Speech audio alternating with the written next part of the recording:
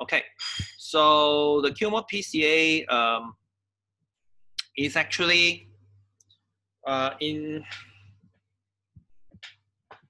in multivariate analysis, uh, Q-mode PCA is sometimes uh, is also known as uh, principal coordinates analysis, yeah, PCOA.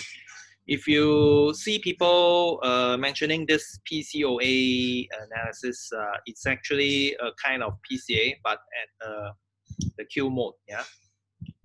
So again, it's actually a similar kind of uh, a kind of PCA, but with uh, some minor differences. All right. So in Q mode PCA, you you have uh, you generally have a situation where your number of variables is larger than the number of samples uh, that you have. Uh, this can be very common with, with modern data sets, yeah? Especially when, when uh, the generation of variables is, is actually quite uh, convenient, okay? So you will generally get this kind of um, uh, data sets all right, uh, when you deal with uh, data sets that are actually quite, quite big, right? Now, so, so in order to apply uh, PCA for dimensional reduction, so we cannot use the usual R mode PCA because there's a mathematical requirement for the sample size to be larger than the number of variables. But um, you can actually uh, still perform uh, dimensional reduction as follows. Yeah. So instead instead of doing the eigen decomposition on the covariance or correlation matrix, we perform the eigen decomposition on um, a kind of a distance matrix. Right. So you you uh, can actually calculate the distance between different data vectors. All right. So what this means is as uh, is the following. Let me something. Uh, share whiteboard.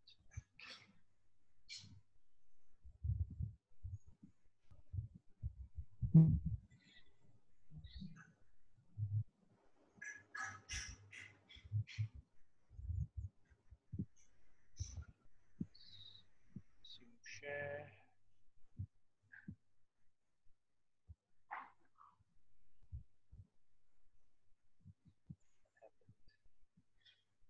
Um, can you see my whiteboard? Okay, it's come out already. All right. So, so you have uh, your your data structure will look something like this. Um, wait screen share is paused. Resume share. Stop the share first.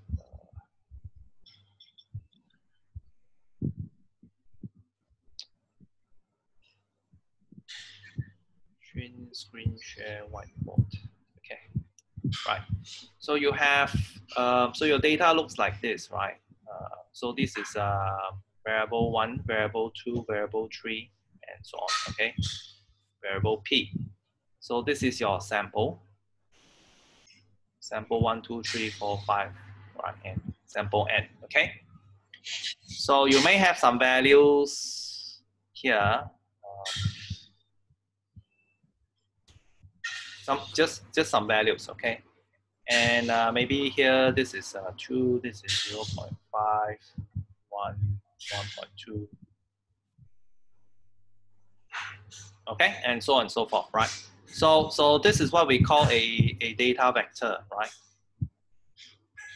So each sample has its own data vector. Okay, for example, the data vector for the first sample would be 4.1, 1, 0, 2.5, 5.1, okay? This is what it meant, what is meant by a data vector. Now you can calculate the distance uh, between the data vector 1 and 2. So it's denoted by uh, the index here. Right? 1, 2 means the distance between 1 and 2 as follows. Um, So the distance will be you, you look at the path here. Or you, you go you go by uh, variables, yeah. So first variable 4.1 minus 2, then you square, okay? Then after that, you move to the second variable, uh, which is 1 minus 0.5 square, right? And then you keep on doing this until you reach the last one. Sorry, this minus 4.9 square, okay? Um, if you have the Euclidean distance, uh, the Euclidean distance, you put a square root through the whole thing. Um, for QMOD PCA, it works with the squared Euclidean distance. Squared Euclidean distance. So therefore, you don't actually have to do the square root, all right? So you remove the square root. So basically, it's just the uh, sum of differences, yeah? So in, in general, you sum, sum the differences between the two observations for each variable, and then you take the square. Right, you, you sum the squares, all right? So basically, in general notation, it will be x. Um, so you have variable, so one i, sorry, uh, one i minus, this is two i, right, squared. And then you sum the i's from 1 until p, yeah? So your d1, 2 will be like this. Okay? So basically you have a distance. You can calculate the distance between 1, 2, 1, 3, 1, 4, and so on. So, and then calculate all the pairwise distances. Uh, so finally, you will have a distance matrix, yeah, D so this is, uh, these are the samples, 1 to n. So these are the samples 1 to n, right? So on the diagonal is the distance of sample 1 with sample 1, okay? So definitely your diagonal is 0, all right? And uh, the off diagonals will be um, your distance, right? This is D1, 2, this is D1n, okay? Um, this matrix is symmetric because uh, the distance from 1, 2, and 2, 1, they are the same, yeah? Okay, you basically just swap the two positions here, but since you're taking the square, uh, it doesn't matter the order of uh, subtraction, right? So basically you have a triangular, uh, so the matrix is basically um, symmetric. So this part and this part are the same, okay? They are the same right? So this is what we call a distance matrix, right? And once you have this distance matrix, um, before you do eigen decomposition, uh, there is a transformation that you will apply to this distance matrix. So the transformation is the following, yeah? So you take, so this is your distance matrix d1, so, so this will be 0, d1, 2, d1, 3, until d1, n, um, n, okay, and so on, right? Um, so the transformation is that you take the dij transformation, this denotes a transform, right? It's equal to the uh, uh,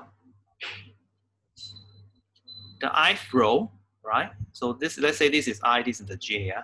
You take the average across the ith row. You add the average across the jth row. Okay. And then you subtract um,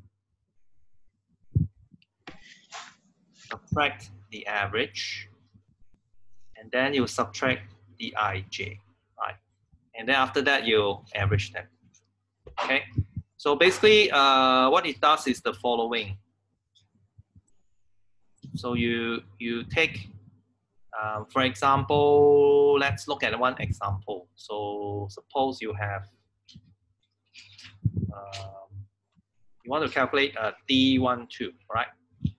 So D12, you will find um, So DI, so that will be D1, the average of D1. So it goes like this, all right?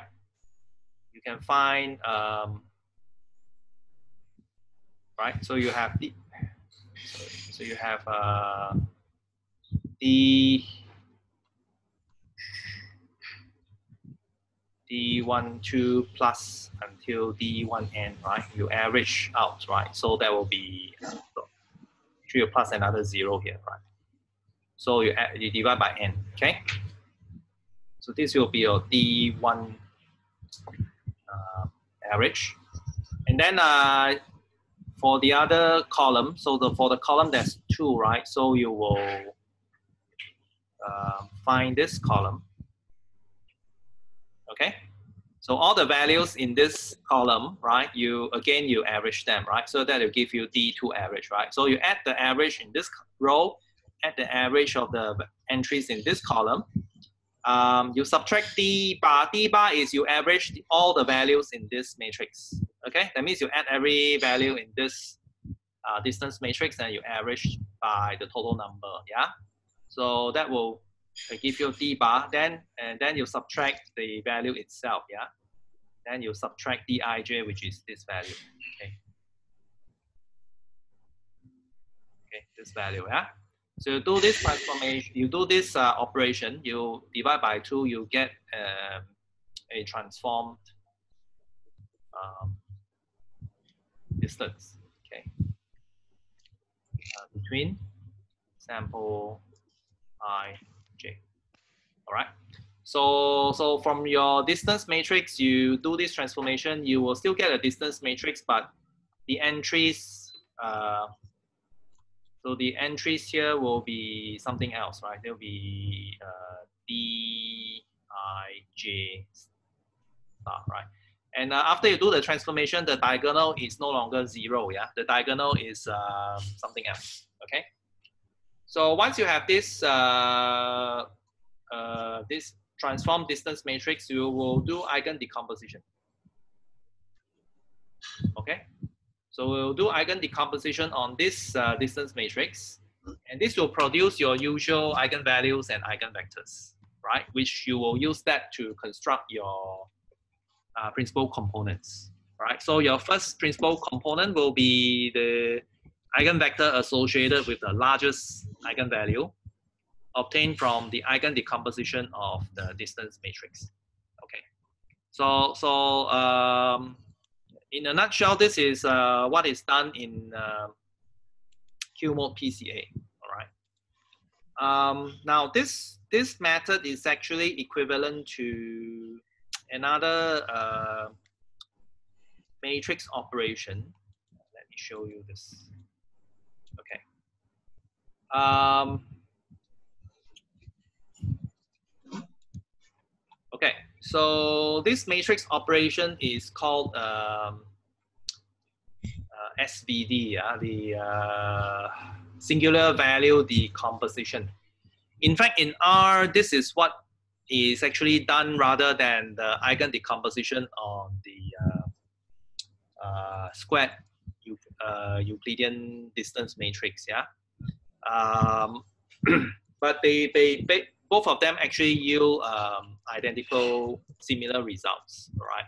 So, and it's just that this this uh, particular method of calculating the uh, eigenvectors uh, is more numerically stable. Okay. So uh, just to quickly uh, run you through this uh, singular value decomposition, yeah. So uh, what it does is that um, your distance, sorry, your data matrix X, yeah, right, which is the row is row, the rows are your samples, the columns are your variables. They are decomposed into a product of three matrices, right? They can be written as uh, three matrices, the matrix U, the matrix S, and the matrix uh, V, right, transpose, okay? Um, so this U matrix, uh, it has uh, the columns as uh, it's called the left singular uh, matrix. The columns are uh, actually uh, what we call left singular vectors. Okay, and your matrix in the middle is n times p.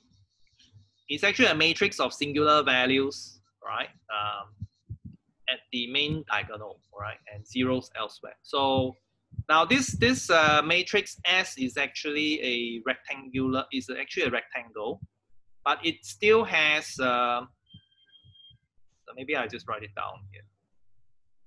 So your matrix S is n times p, right? So so the so in the the uh, it may be like here there may be n and over here p right? So in this for example if your p is larger than your n um, which in this case it is so it will be something like this. It will terminate at uh, spp and then these are all zeros.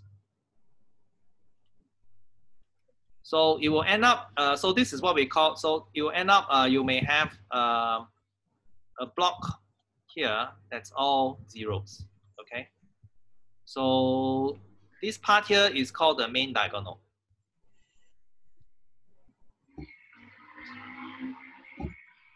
Okay, in the usual, uh, if you have a square matrix, then your diagonal is basically just uh, over here, right? Because if you have a square matrix, uh, is uh, n times n, some, some matrix m times m, right? So uh, the main diagonal will be this part, okay? Whereas for the uh, rectangular matrix, you can still have a main diagonal, but it's up to this part, yeah? So the rest are all zeros for this matrix, okay?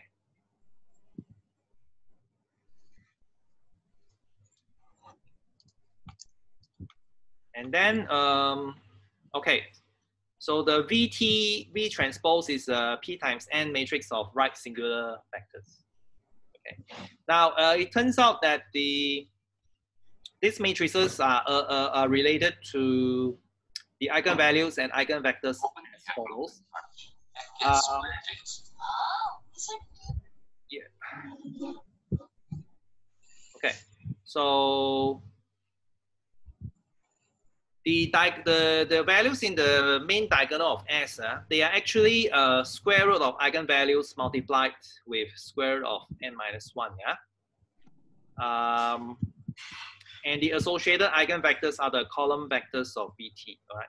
So the eigenvectors are actually uh, in VT, and, um, and your principal components are actually the product, all right? The columns in the product U of S, okay? So this is just to let you know the, the we, we won't go into the, the detailed theory, yeah? just to let you know uh, that what corresponds to what in this uh, uh, singular value decomposition. Yeah. Um, okay.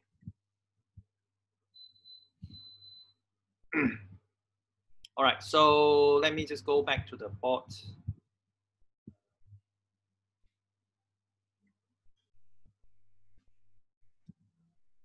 So basically you have your x is equal to u, s, and v transpose, right?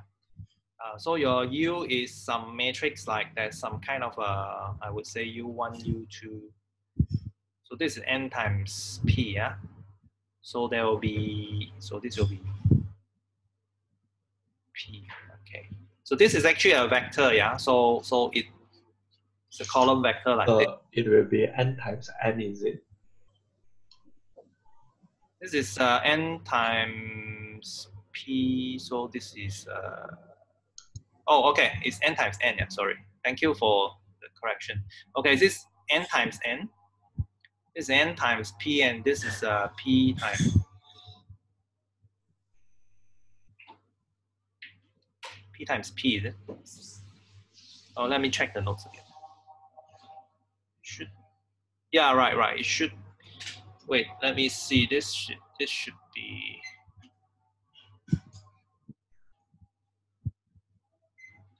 Um, uh, is P times N.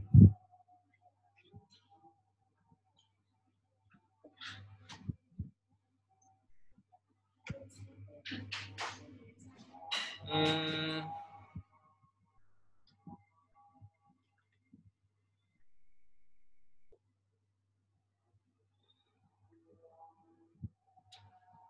Okay, let me see. This is uh, I wrote p times, and then then you can't get.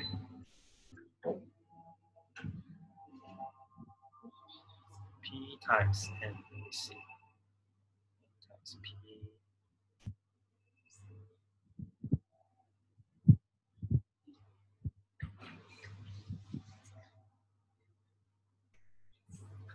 Mm,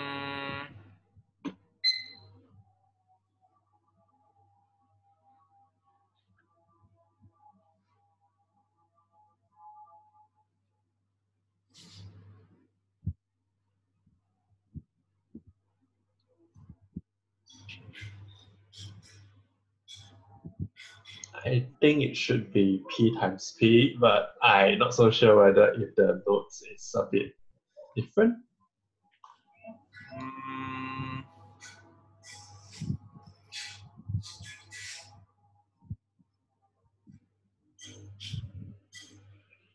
Okay, uh, let me check check the dimension again. Uh,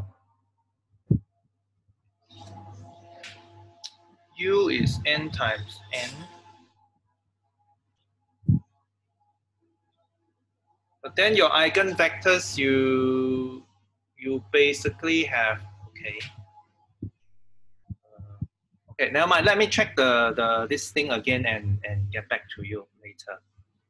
Um, I may have uh, made a mistake somewhere uh, with one of the dimensions. Okay, but anyway, um, so so this this uh, this matrix here it gives the so the so the columns here. Um,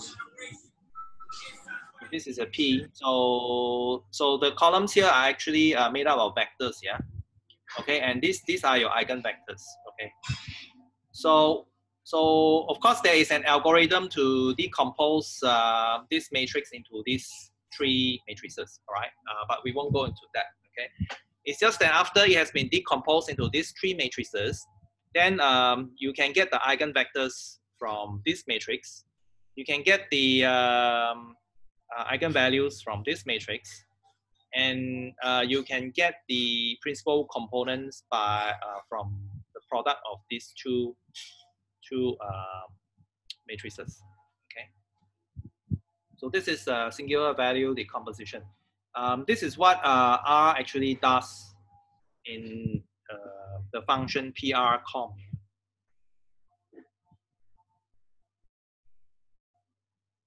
Okay.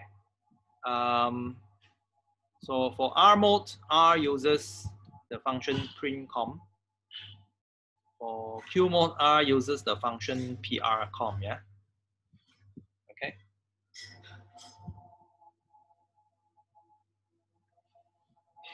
Um, okay, let me share, go back to the notes.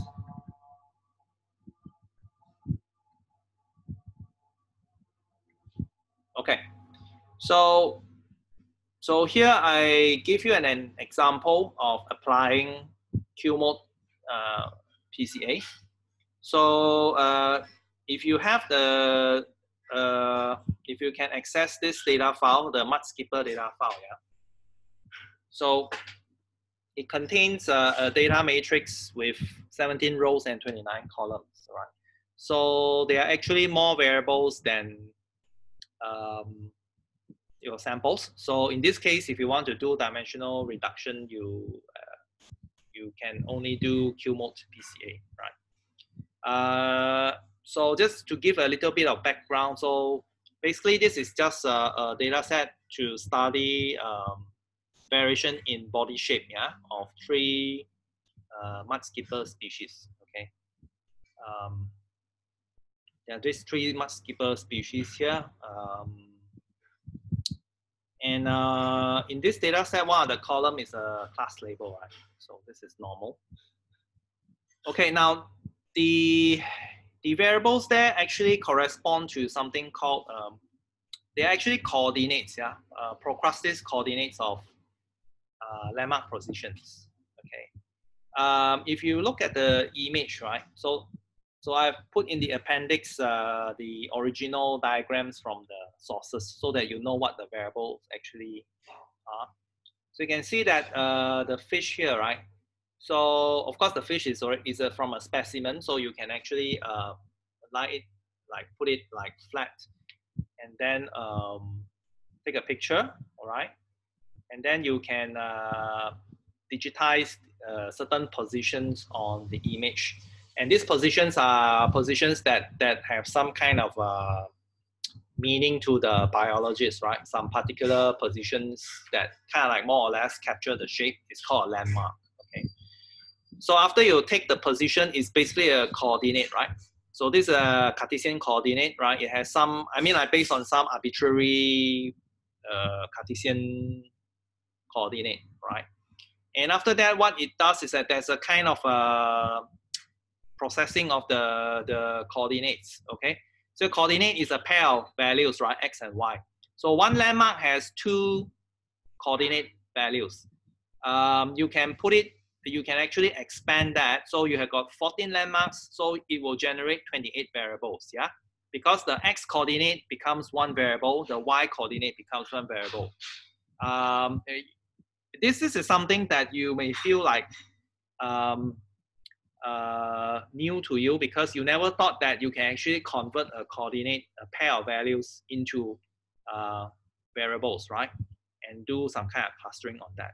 So, but again, uh, it's actually doable. In fact, this is telling you that uh, you can actually work with coordinate data just as a usual variable, okay? Just turn the x coordinate into one variable and the y coordinate into another variable, okay? So with this, uh, you basically have um, 14 landmarks, so that gives you 28 variables, okay? And of course, these variables, they go through a process called uh, pro Procrustes um, alignment, whereby the, the uh, this process actually removes um, the effect of translation, rotation, and scaling. Okay, this is a specialized kind of uh, uh, processing step that I will not um, go through with you. But you have to do that processing first before you will get those uh, so-called Procrustes, Procrustes uh, variables, all right, which you'll see in the data set. So those variables can now be actually worked on using uh, QMODE PCA, okay? So let's go back to... Uh, doctor, can you let Qian Yi to join because oh. I think she just did it. Okay, I, right.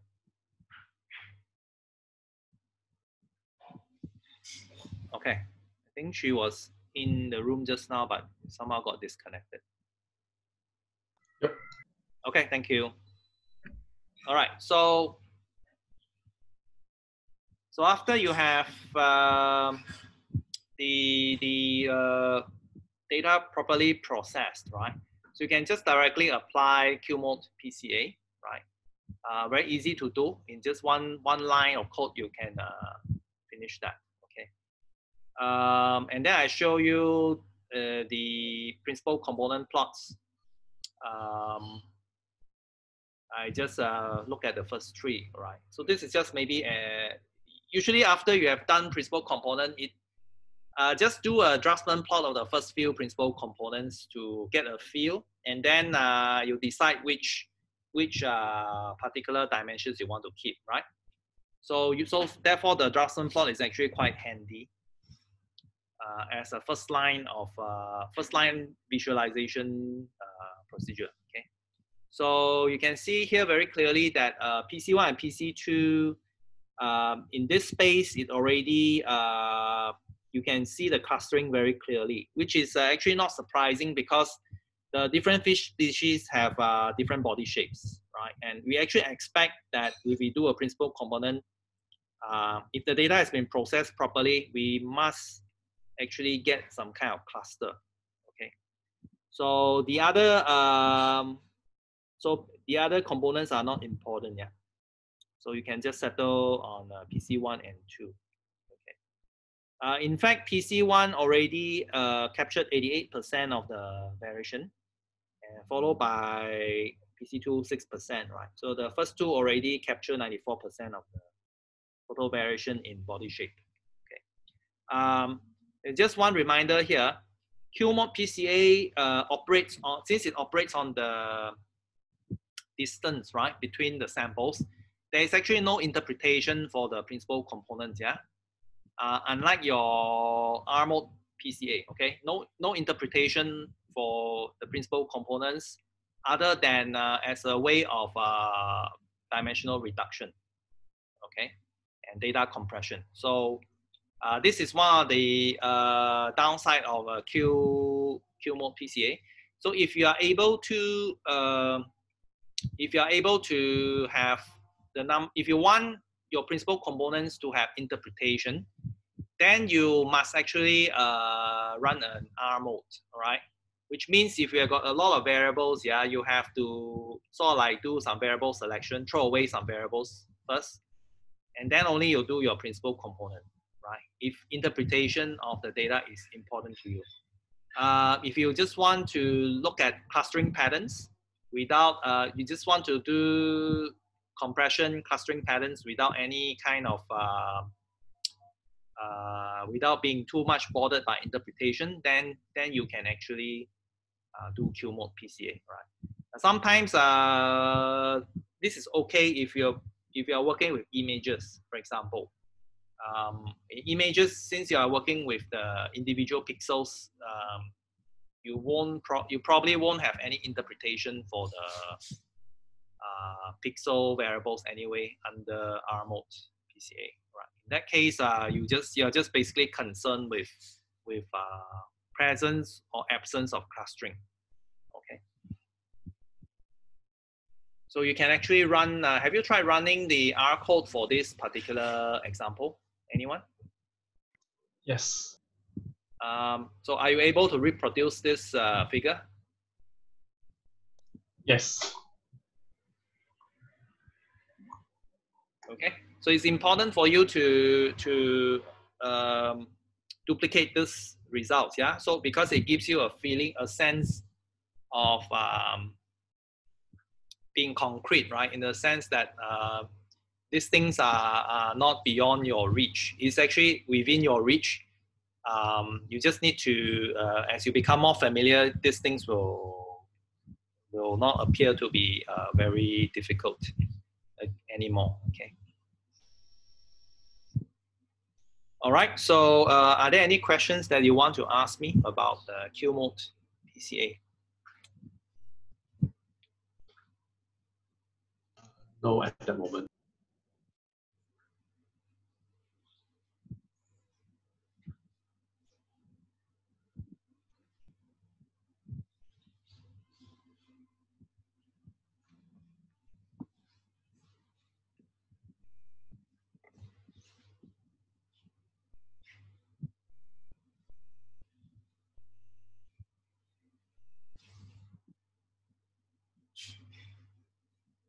Any, anybody else?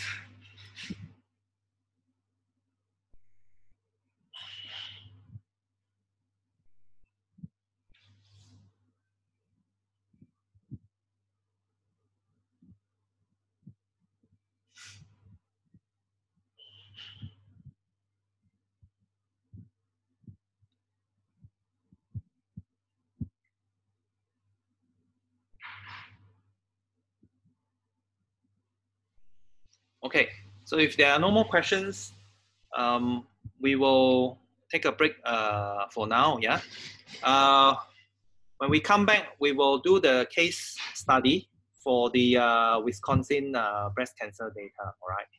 Um, so I, I will show you um, uh, step by step how to approach um, the, the how to approach uh, the analysis of this this data set um, using using all the methods that we have learned up to this point. Okay, uh, so that you have some idea how to at, least you have some uh, example on how to uh, approach this kind of multivariate data the next time you encounter such type of data, right? As a as a starter, okay, to get some idea about patterns of variation in the data. Okay, so for that, uh, please get ready the Wisconsin data set um, and, and have R with you. Okay, um, and when we come back at 8 o'clock, we will, uh, I, I, will do the demonstration, right? So uh, the way I do it is that I will, um, so later I will, I will upload a sample code, okay? Which you should also download the code and then we will run through segments of the code to see what actually happens. All right, and um, please download a particular uh, R package uh, called uh, this thing. Go to chat. Chat. Okay. So in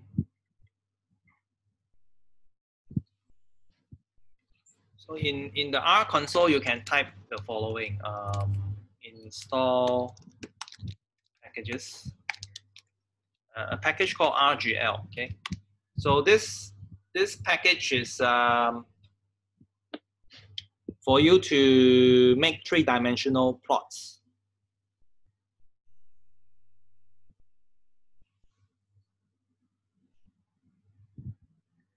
Chao Hong, is there a way to understand the singular value decomposition in an intuitive way, or that why we transform data into distances before uh, performing SVD. No, uh, we do not transform the data into distance before SVD.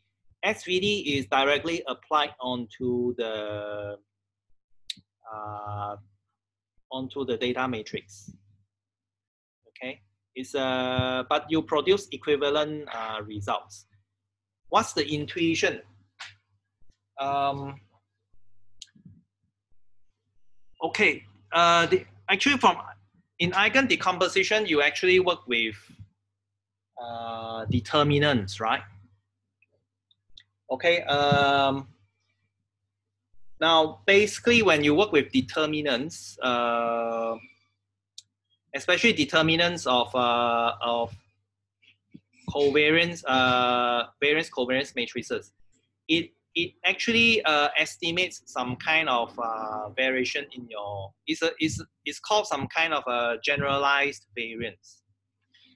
Um, so when you take determinant right you're actually capturing some kind of information about um, uh, patterns of variation in your data set it's actually not very intuitive um, I would say the, the, the matrix operations are not very intuitive on their own. It's just that um, it's a kind of uh, rotation.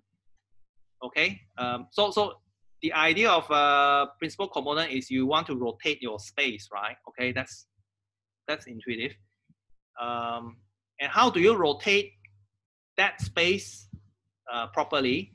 Uh, it turns out that uh, it is actually uh, it, it just nicely uh, turns out nicely that um, it, it connects with the eigen decomposition, right? When, when the mathematicians studied eigen decomposition, they just studied it as a kind of a solution.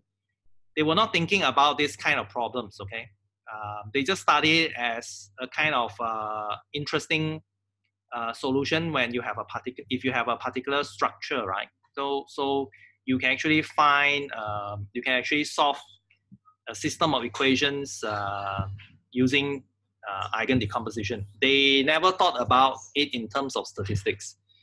So it's just nice that uh, uh, it connects uh, immediately uh, when, when we do this kind of rotation thing. It, it just, it's just something that uh, there's some kind of a it's just some some mathematical result that you can directly use in the context of uh, trying to make the rotations so that your variation is uh, maximized. It's just like sometimes when you want to solve some problem that's uh, domain related, but you end up using a quadratic equation to solve the problem. Uh, it doesn't mean that the people already thought of it, right? It's just that uh, it is a useful tool to to in in that sort of situation. So in fact, the SVD even uh, for me, I, I wouldn't say it's very intuitive, um, but it's just a useful way of uh, producing the, the rotation that is needed so that you can see the data uh, clearly. I mean, in terms of uh, the variation, yeah. Or perhaps there, there is actually some intuitive way. It's just that um, it doesn't occur to me. Maybe some other people are able to explain it. Maybe you can check YouTube and see if there are other people who can actually explain this uh, in a more intuitive way.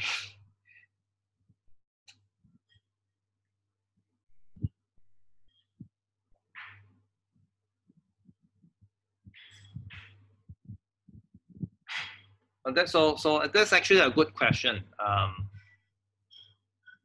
because usually if you if you understand the operations intuitively, it's actually better, right? Um,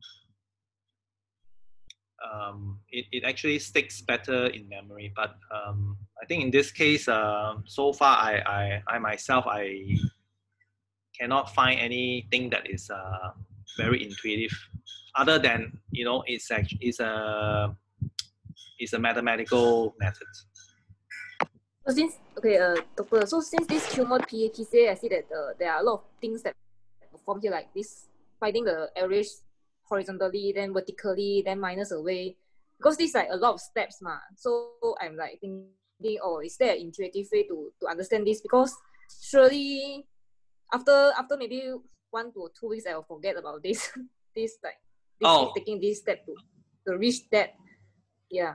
Yeah, well, actually, like you, you yeah, sure. So you don't you don't actually need to remember that. Um, so so generally, you just conceptually you just need to know that the eigen decomposition in Q mode is applied on the distance in in, in the distance matrix. Uh, of course, and then there is some transformation in the distance that's needed um, before you actually apply the eigen decomposition because um, if your diagonal is all zero, right, the eigen decomposition will fail.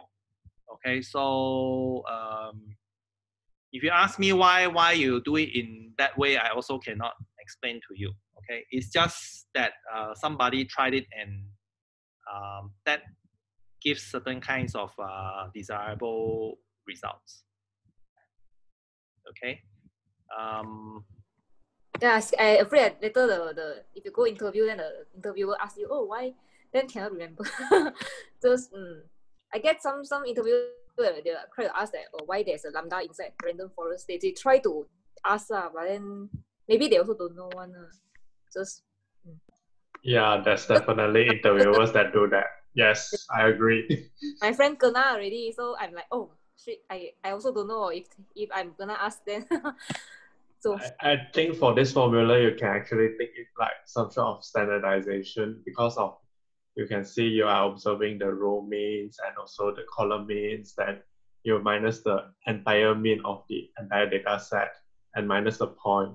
So that's how I remember this part is like some sort of bias. I mean, I mean bias in the sense that I wanted to standardize the entire data set. So how do I do? What kind of method that I do? That's why I think thought of. uh.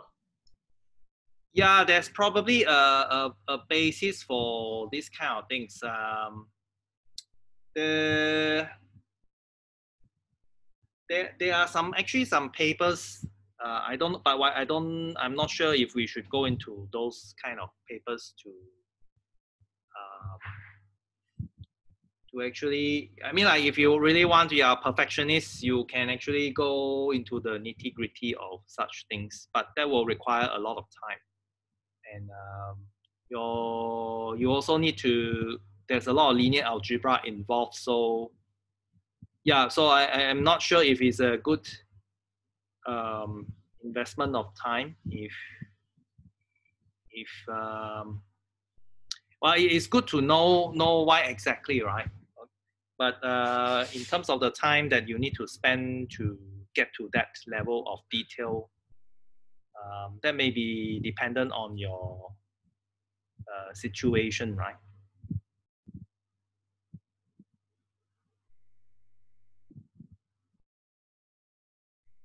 Um, but I think uh, even even for singular value decomposition, there's a lot of theory. It's just too technical to to really go completely into it, right? Um, to to know if you want to find out how technical it is, you, you just go uh, you just go to look at the wiki page, right? You can see all the things, and uh, you probably don't want to wait through that. Um, and uh, I think it, it doesn't really uh, affect your ability to use. I mean, like knowing the theory is one thing, right? Um, but uh, whether you can use it uh, skillfully is another is another story. Um, so I guess over here we we try to balance the two things, right? Otherwise, uh, you may know know a lot of the theory, but you you absolutely don't know how to use it to achieve um, to work with the data sets that you have.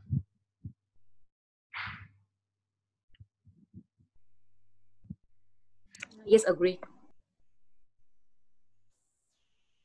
In fact, uh, if you look at the, let me see, let's go to R. Yeah.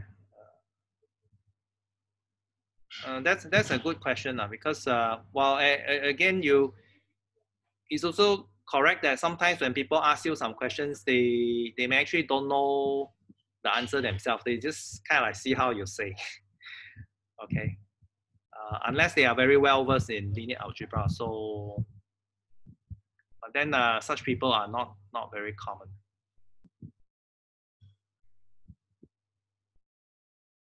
um, R console. Let me see. Desktop. Okay. Oops. Um, I should be sharing my my R console.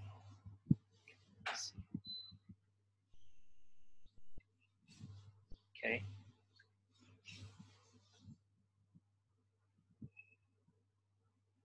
Okay. Oops.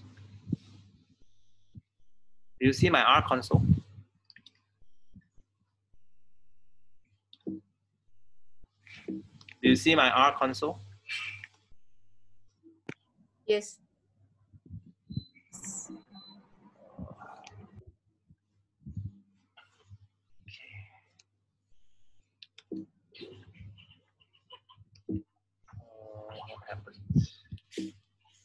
Okay, never mind. Okay, so uh, I don't know. It seems like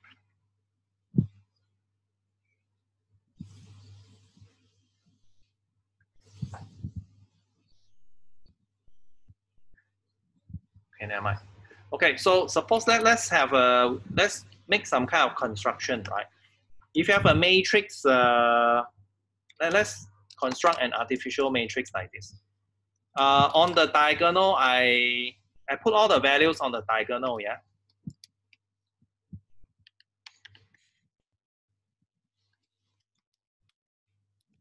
Okay, so if you compute the determinant of this matrix, um, it, it basically is just a product, yeah? Okay, so I, I will think of this uh, this this uh, matrix as a variance covariance matrix, okay? It, here your your variables are all uncorrelated with each other. They are independent, purely independent, yeah? Okay, so in this case, if you look at the determinant, uh, it's 100.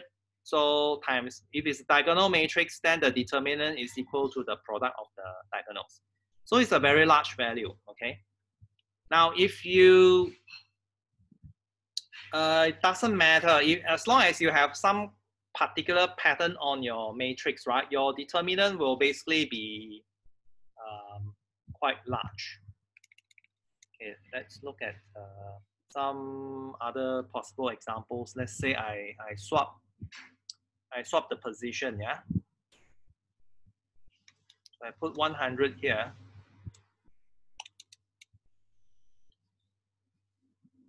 So that one, and here put 100.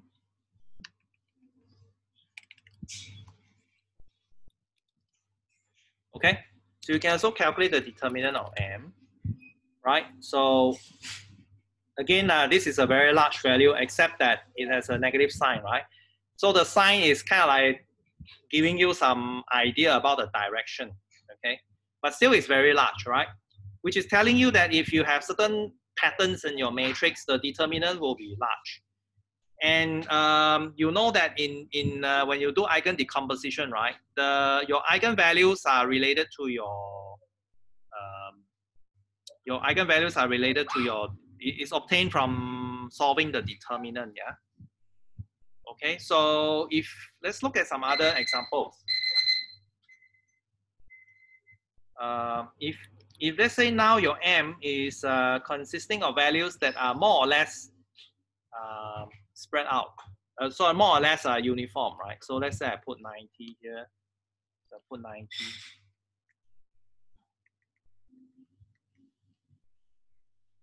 Okay, so okay, so the matrix looks like this. Now let's try to calculate the determinant, right? Now you see that now the determinant has become uh, much smaller, right? Previously was uh, the determinant uh, was 1 million. Now it's dropped to 28,000. If you make it uh, even more similar, let's say you put 99. If you put uh, them exactly the same, the determinant will be, um, we, we can actually try that. Okay, let's look at 99. It may become, um, okay, something like this. Okay, look at the determinant of M. Right, drops to 298, very small, relatively small already. So now if you put everything 100, okay, I, I'll just change 100 to 99, easier.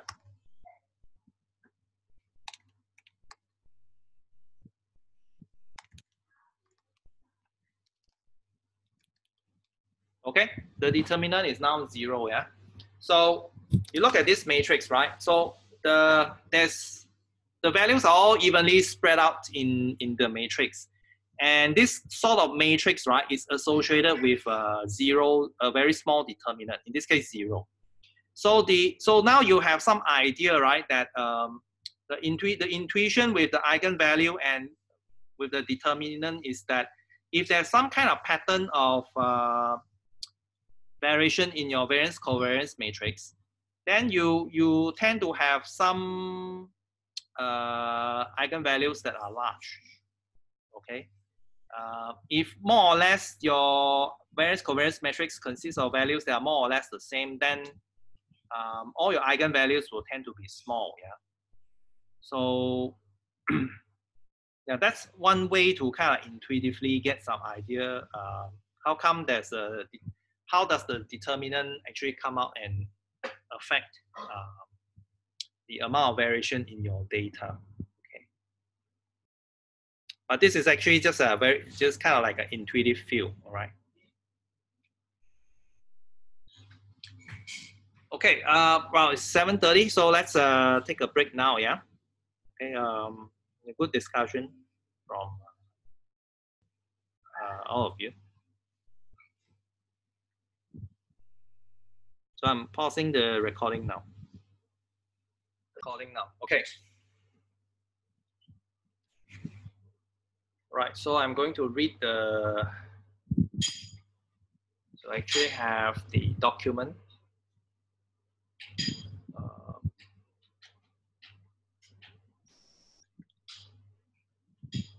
so have you downloaded the Wisconsin case study R script?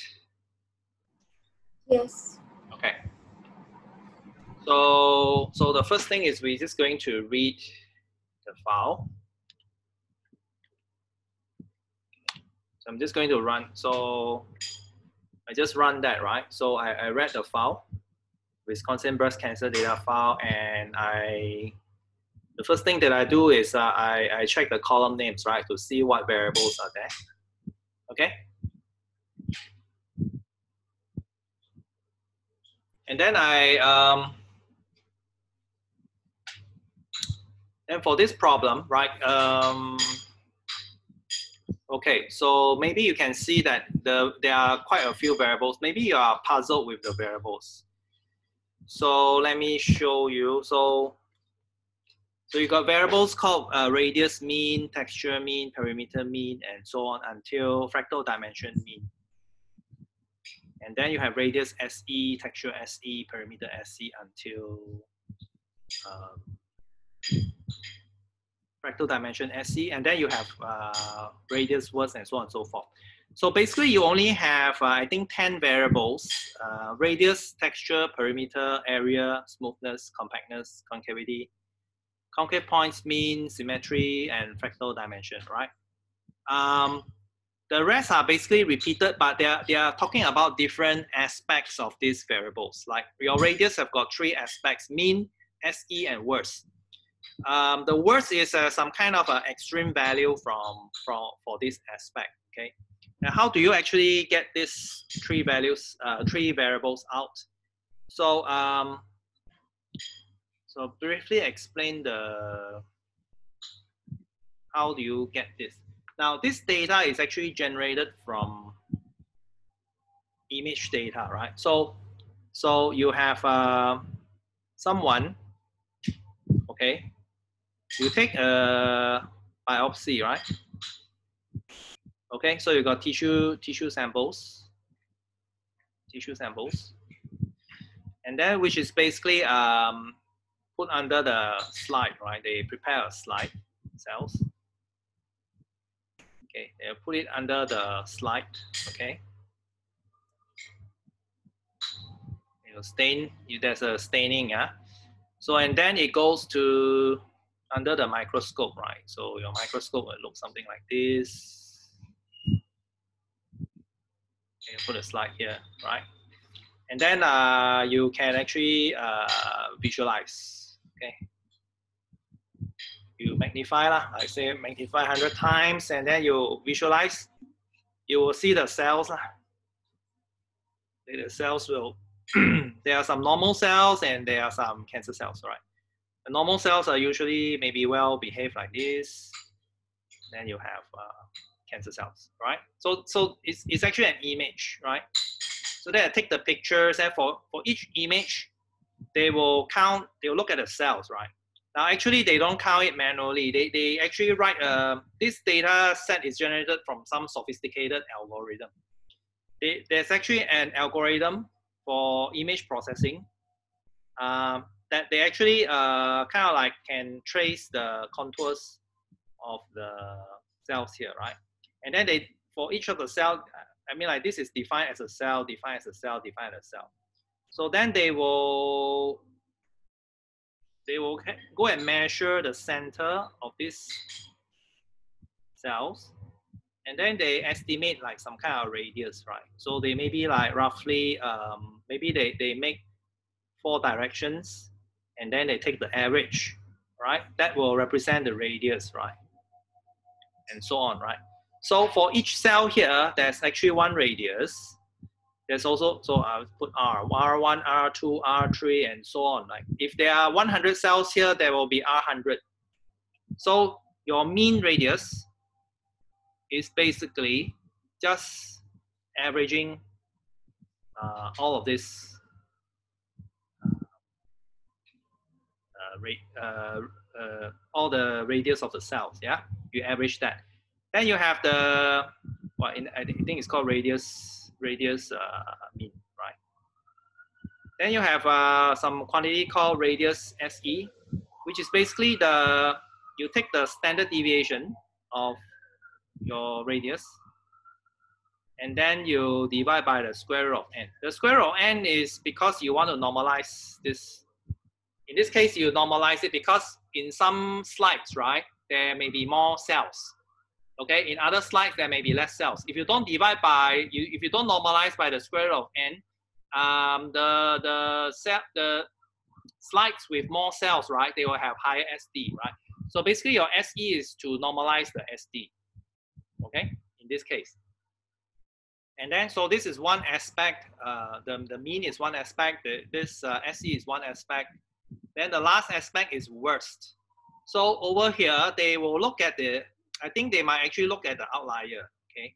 They look at some outlier in this, uh, maybe like, for example, maybe this cell is very weird, all right? So you identify this cell and then it will just report uh, its, um, so you just take this cell and then the, the radius was will be basically just the radius of this cell, all right? Along with other, uh, so this is for radius. So you have other variables like texture, uh, compactness or whatever. So th these are basically uh, other aspects of these cells, okay? As you can see, this is somewhat similar to the landmark data, right? Uh, landmark data, you have two xy coordinate. So one landmark then generates uh, two variables. So here is the same thing. Your radius, right, has got three aspects here. One aspect is the mean, the other aspect is the SE, the other aspect is the uh, worst. So it, one, one variable generates, so one um, uh, domain variable then generates three uh, variables. Okay, it induces three variables for data analysis. Okay, uh, so is this part clear to you?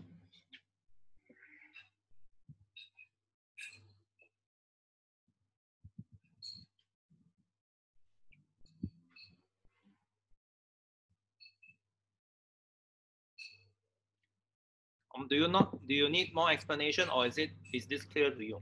How the at least you have some idea how the data vectors are generated from the raw data.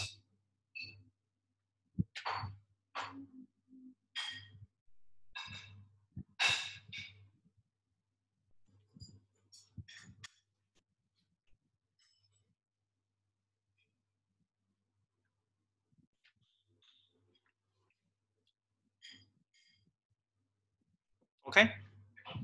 All right. Now, um, so this is how it goes. Um, so the question now is if you are going to have something, if you're going to come up with something that's interpretable, right? Um, so how should you proceed with this uh, study? Um, now, if you have studied some statistics, you know that there's a quantity called um, coefficient of variation.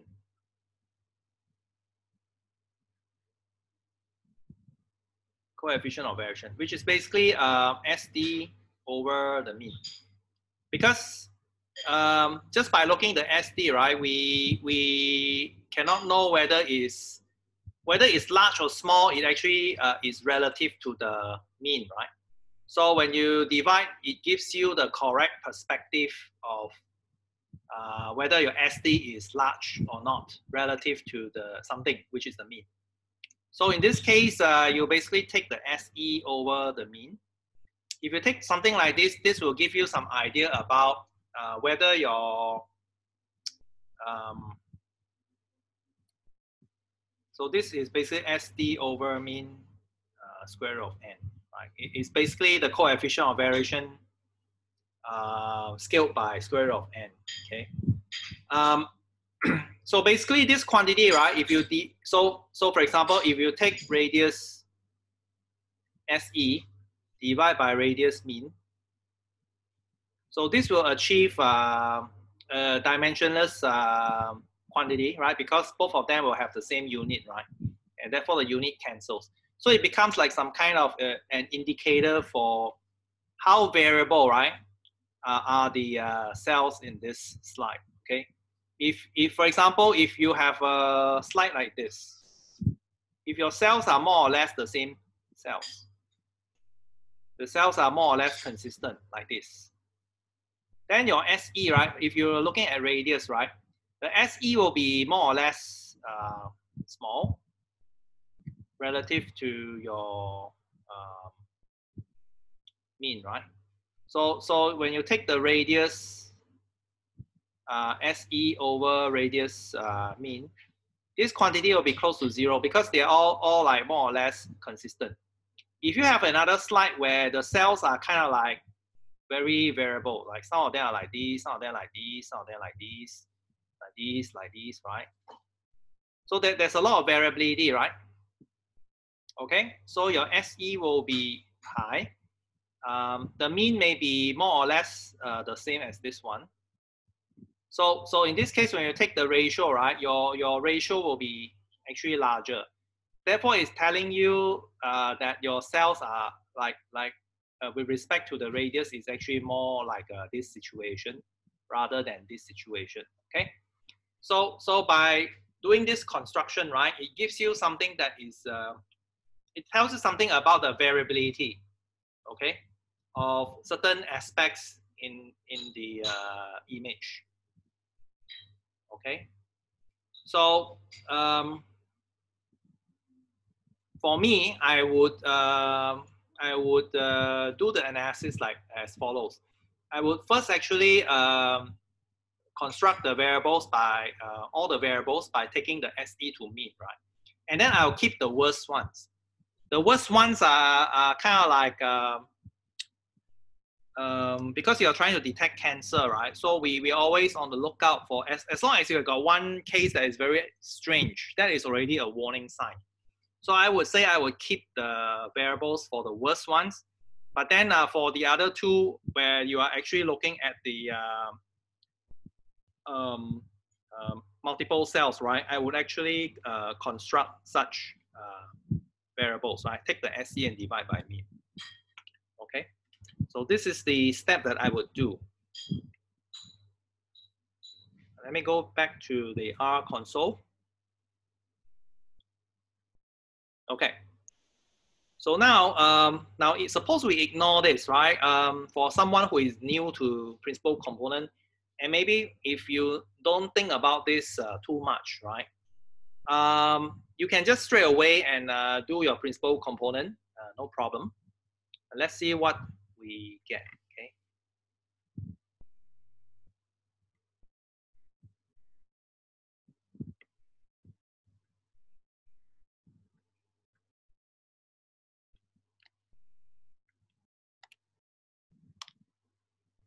Okay, so I've run the, I've already run the script. Um, now you can see that when I'm running my principal component, I'm using princomp, yeah. So this is an R mode uh, PCA. So I, I then activated cor equals to true, yeah. I'm, I'm doing eigen decomposition on the correlation matrix. The reason is because uh, all these variables, right, their order of magnitude is very different. If you check the data, you can see that very clearly. Okay, you can see their order of magnitude is uh, very different, right? A radius mean is uh, up to tens, in the order of tens. Um, and then you have, what do you have? You have got uh, perimeter mean is like up to hundreds, uh, area mean up to thousands, and so on and so forth, okay? But then some of them are that are up to uh, down to two decimal places. So if you use the covariance matrix, it won't work because uh, it will get basically just get dominated by the variable that has the largest um, magnitude. All right, so you'll just get artifacts. Okay, so you in this case you have to activate uh, correlation equals to true. So if you do that, so I'm going to share the result with you.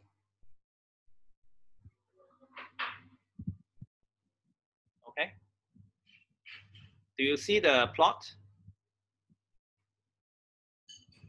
Yes. Okay. So you see that uh, roughly, right? Um, it's pretty good. Even even if you kind of like just do it as a newbie, right? Um, you find that principal component uh, one is actually quite important. Um, you can more or less see that there's a split, right? But there is also quite a substantial amount of overlap between the blue and the red. Uh, if you highlight that, I'm going to just zoom in. I think I, I can't I can't zoom anymore. Okay, you can you can see that the so one and two, right? So you can see that they actually uh, at this side here, there's actually a bit of a overlap, right? Okay, but but uh, as a first approximation, this seems uh, pretty good. Okay. Now I'm going to show you uh, what happens if so. This is done using um, um, just directly, right, naively without doing any sort of processing. This is usually what, um, if, you, if you give it to someone with a computer science background, this is what they will usually do. They'll, they'll just treat every variable as some data and just don't, just throw everything inside, okay? Um, now you can do something more refined, okay, like uh, what I suggested just now, which is you divide, uh, you take the SE to uh, ratio of mean. But in this case, you have to be a bit careful. You can't just directly divide it, okay? Because uh, some of these values, right, their, their values are zero. So the, the denominator is actually zero. So if you divide, you'll get uh, uh, e either not a number or some infinity number, okay? So that doesn't work. So uh, to overcome this, right? Okay, so to overcome this, uh, Qian Yi. Uh, I mean, sorry, Dr. Khang, Qian Yi this year again. Okay. so, so can you see my console? Yes. Okay. Now you see my console here. I cons uh, now I define the new object. I call bc.new. Yeah, it's actually a data frame consisting of uh, these following variables. So um, from BC column 13 to 22. You can see that from column 13 to 22, they they are the SE versions. Yeah, you can actually um, just do some simple counting. You can see that. Now I added some uh, very small number there, 0 0.0001, right? Uh, this is to to break the zeros. Yeah, the the values that are zero will get broken. Okay, they will become uh, non-zero, right? Uh, of course, it adds a bit of a noise into the data, but this is irrelevant because uh, I put uh, up to four, I, am using four decimal places. So uh, even though I insert artificial uh, noise inside here, it will not actually affect the conclusion of this data. Okay, It's, it's just like uh, adding one small tiny grain of sand, right? But with the effect that it will break the, the problem of dividing by zero, okay? So I uh, to, so that's why to be fair, so for both variables I added 0.0001. Okay, so that breaks the division by zero situation. Um, and then BC uh, column 23 to 32 are the worst, right? So the the the worst aspects of the uh, I think 10 variables. Okay, nine or 10. Um, and then the last one, BC dollar sign diagnosis, is to pull out the class label. Okay, so that is my new data set. Right. Um, then I can check my column names.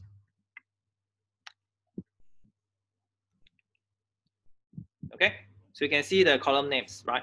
Of course, um, you see that it's still radius SE because uh, it's, it's using the variable, the old variable name of the first um, variable that you use in the ratio, okay?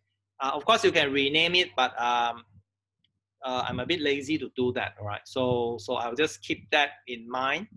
Uh, so, so you just note that bc.new, your radius underscore se is actually a coefficient of variation, okay? Because it has already been divided, right? Okay. And once you have prepared the new data, so I can uh, apply principal component on this data set, right? Okay, so very easy, just run princomp on the new data set. But notice that I, uh, when I, I didn't just put bc.new, yeah, because my bc.new, my class label is at the last column.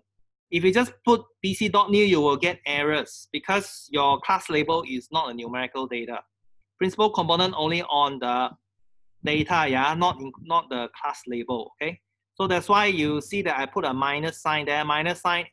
Now uh, I'm, I'm lazy to actually count the number of columns. So I will just let R decide the number of columns, right? So I'll just use ncol is is asking for number of columns, right? for the matrix bc.new. So basically, it will remove the last column of the data uh, from the data matrix for me, right?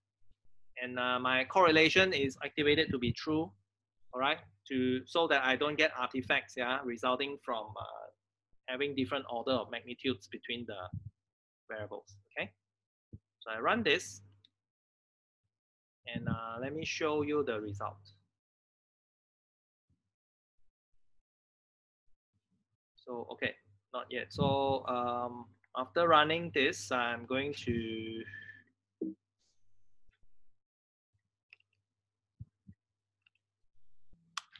Okay, so I then do the uh, pairwise uh, scatter plot.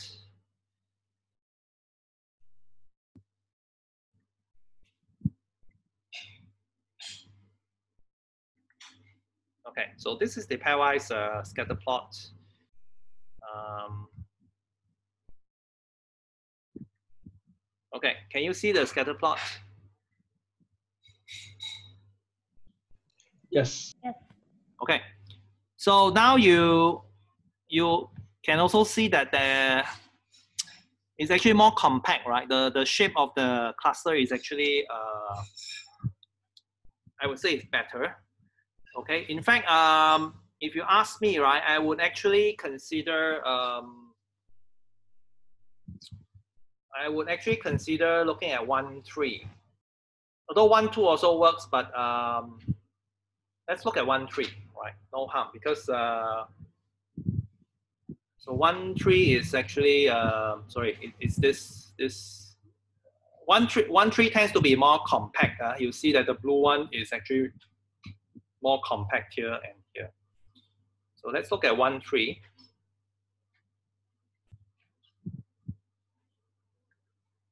So I will plot uh, one tree. Yeah? By the way, you can uh, run the summary of the principal component to see the amount of variation that's explained by uh, the various principal components, okay? So share the, uh, the console.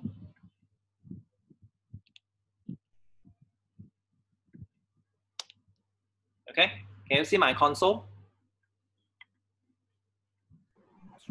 Yes. Okay, so you look at the summary, it will give you the um, proportion of variation that's explained, right? So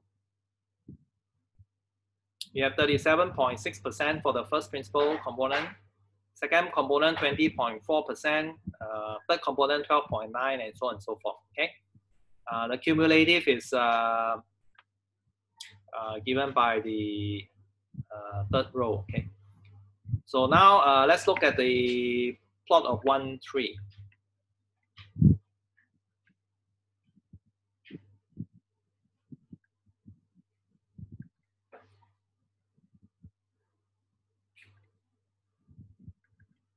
Okay, can you see a one tree?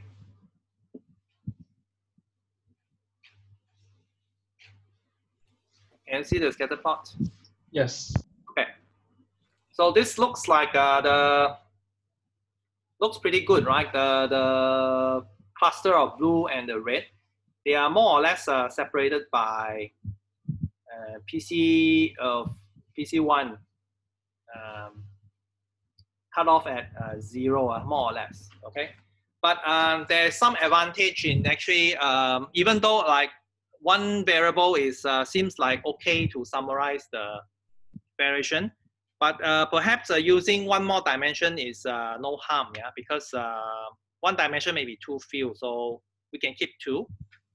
Um, now, if you're going to use this in the sense of um, machine learning, right? So you already, let's say this is your training set, right? So more or less you already know that uh, your um, your your machine learning uh, uh, exercise is going to be quite successful because your data is already showing very good uh, clustering patterns. Okay, and generally, uh, um, a very simple way to uh, do classification in this case would be given this this uh, this space, right? You could use a maximum likelihood uh, method, uh, which which we call the kernel method, yeah, uh, as follows.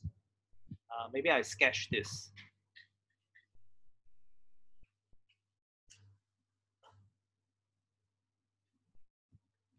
So you, so I'm just going to reproduce more or less.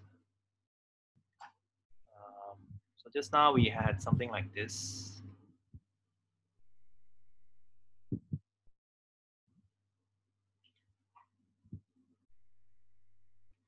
Okay, so then we had uh, the blue ones. So you got you got blue ones like this. Uh, wait, let's draw. Okay, so we've got a whole bunch of blues.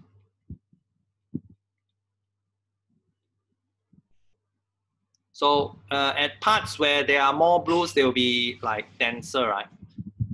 And then we had the red ones. There were a bit of red, one or two reds there, but otherwise they are kind of like faded here.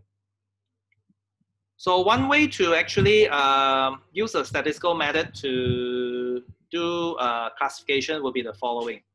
You use this training set, right, to uh, estimate the uh, kernel density. So you can do a non-parametric uh, estimation of some kind of uh, uh, uh, density. So like for example, you can have a like you, you can have a smooth curve, right, for for data that's like this, right? Okay. So so this is actually a density, right? A we I can use a kernel density. A kernel density is a non-parametric way of estimating uh, curve to fit the data, where the uh, curve uh, is found by uh, minimizing some kind of uh, error criteria. Okay, so in this case, it's the same.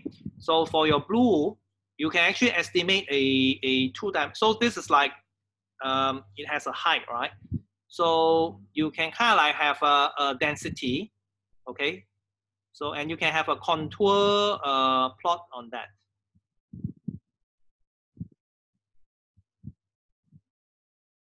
Okay. So for example, the, the ones that are very dense, this is like a mountain, right?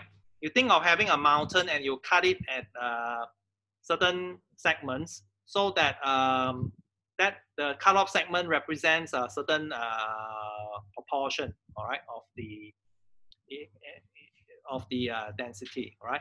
So for example, the the section there's uh so the this section here may may represent like 90% uh, of your uh, data. This may represent like 80% uh, and so on and so forth. The, the ones at the edges here will represent generally very low. Okay, so the other one may be estimated like this. So as long as there's a few data, there will be less. But then the more data here, there will be like more concentrated, right? So basically, you you you have uh, if you look at this from a 3D perspective, right? It's basically like there's a estimated. There's some some kind of a so your your data points here. So it's kind of like estimated. There's some kind of a mountain like this, and um, so then you have your dots here. So this one you estimate another mountain, right? So of course they, they will have some kind of over minor overlap, right? So then for to decide, right? Let's say you have a data point that is falling, let's say in this region. Okay, to decide whether it's blue or red, right? I will um, I will compare the the height, right? So the height is actually the density Okay, I'll compare the density of the blue against the red. If the blue is uh, higher than the red, I will classify it as the blue. Okay, so it basically this this works out uh, using a, like, a likelihood method. Okay, it's like uh, you have to have some imagination, yeah, like uh, there's a certain height, right? So, so, so there's a certain, so you have a point here. So you make a projection upwards. Um, so it touches the blue one, there's a certain height. Then it, it will also touch the red one at a certain height, okay? So you, you pick, you will assign the class according to which height is actually uh, uh, larger, okay? With that, uh, you can actually perform your machine learning classification very easily, all right? Um, this, is, this is a very intuitive method which is uh, basically based on likelihood and um, um, and because it's two-dimensional space, uh, it's easy to visualize the the, the space of your uh, uh, density, right? That's associated with a particular class. Okay. Of course, uh, it doesn't mean that you should stop at two dimension, right? Uh, in fact, four, five dimension is also fine. It's just that in that case, uh, I'm not able to sketch out anything for you to see okay? It becomes like more abstract. Okay, um, is it clear to you what is going on here?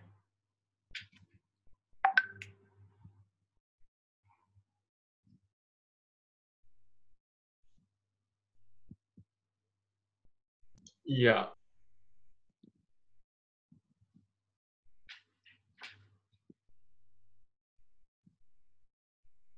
anyway, we'll learn how to do all these uh, things later. Um, how to actually in practice how to implement these things later. Yeah, when we come to the machine learning part. But this just to tell you that uh, even at this stage, when you do a principal component, um, if you see such a kind of clustering pattern, you already have a pretty, you're already pretty confident that your machine learning uh, uh work will produce uh, good results later if at this stage you're at the principal component part, um, the clustering patterns are not fantastic, uh, then you may you may actually just expect uh, maybe quite modest kind of results. Okay. All right. So let me go back to the uh, R console. Yeah. Okay, so can you see my R console? Yes. Okay, so now uh, since we did R mode uh, PCA, we want to actually try to interpret the loadings, right? So I use uh, one and three just now. So let's look at the loadings, yeah? You can extract the loadings by using um, the dollar sign loadings. In fact, if you want to look at the what options are available under the princomp, princomp output. You can use the str command, yeah, um, which gives you the structure.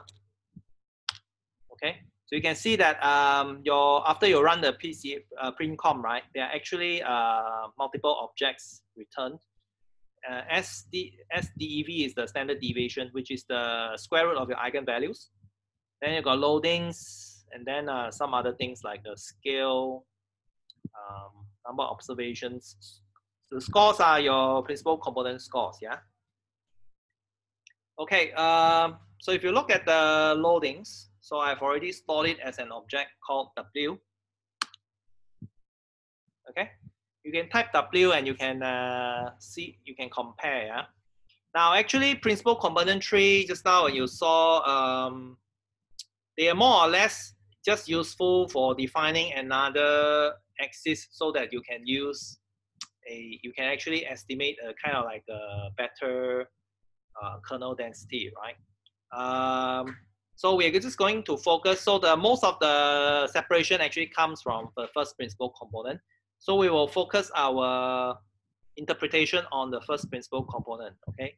Now, when, when you first see this kind of loadings, right, there are too many decimal places the first thing that you should do is to round it to uh, maybe two decimal places.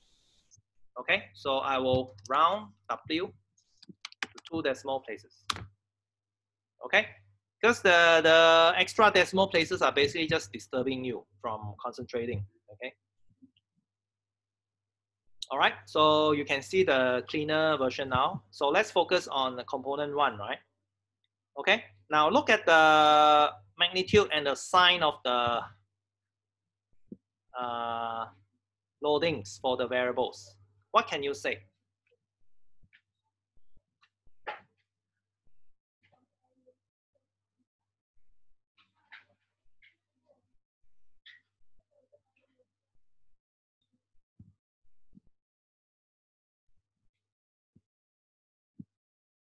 Look at the sign. Which ones are going to negative? Um, so uh, we couldn't see the result. Oh, you can't. Okay. Yeah. Um, can you see my console? We are looking at the the check the loading. Yes, your mouse the check the loading loadings w equals to pca dot bc dot new. Oh, okay. Yeah. That's the code. Um,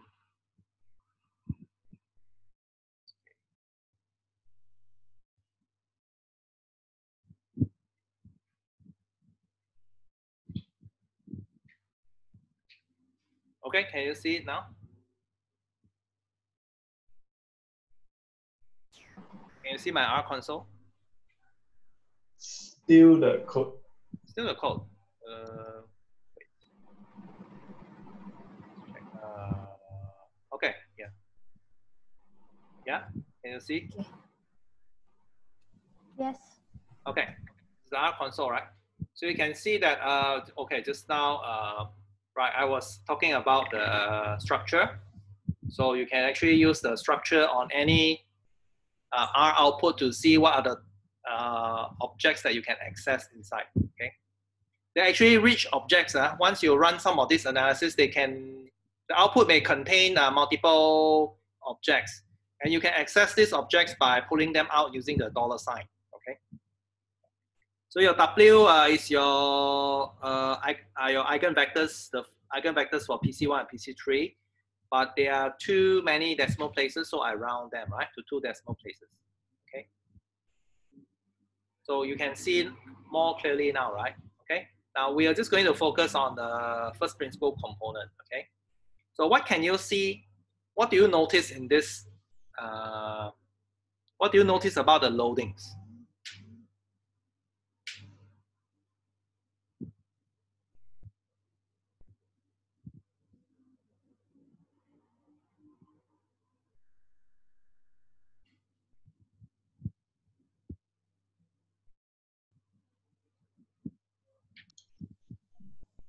Generally positive.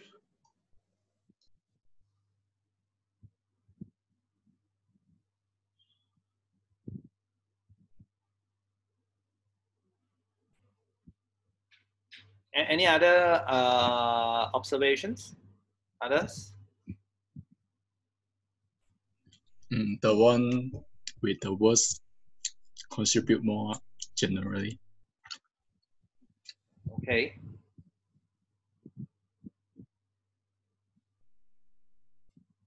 Any other observations? Just give your observations. Yeah. We're trying to to kind of like uh, get some exercise in interpreting the principal components. The concavity, concavity, concavity is actually having a higher magnitude. Okay, they well, the values are we we like okay, it's kind of like a relatively high value, right? Uh, if you compare against the others, um,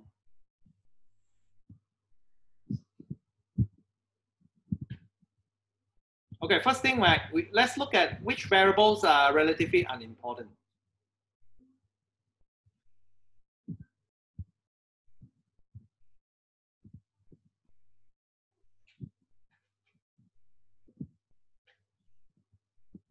Can you see which variables are relatively un unimportant in affecting your PC1?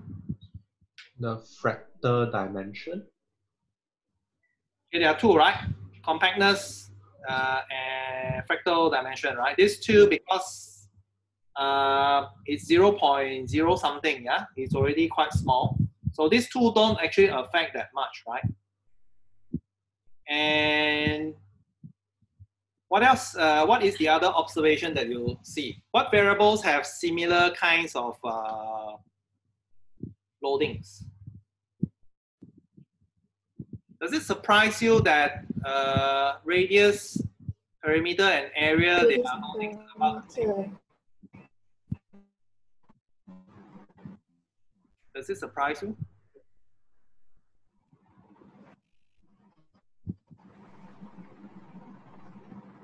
I'm sorry, Dr. Khang, would you mind to repeat your, your sentence just now?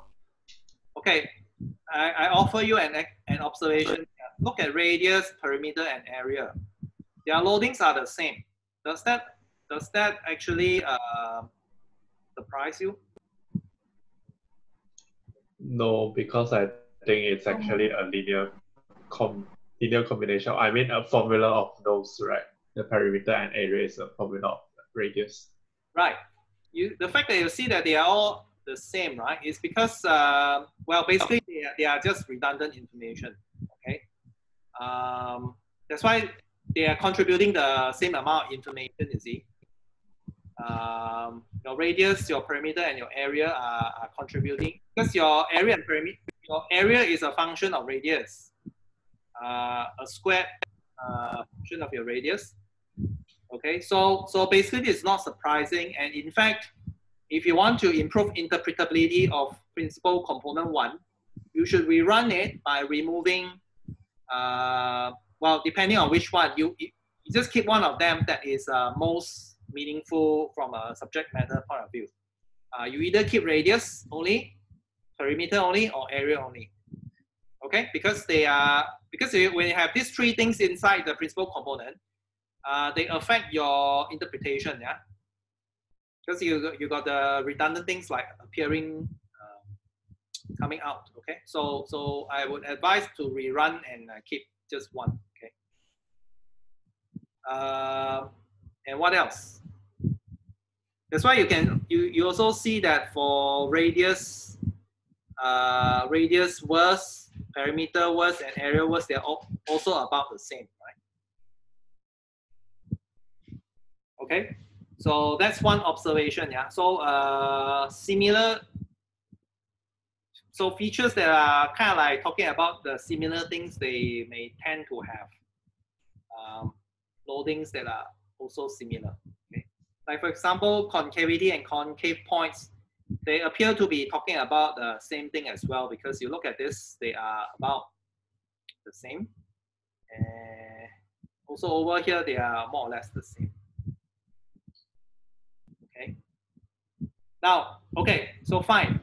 Uh, but so maybe now you can tell me uh, what values, right, will get pushed to relatively larger principal component one and which will get pushed to relatively uh, negative principal component one.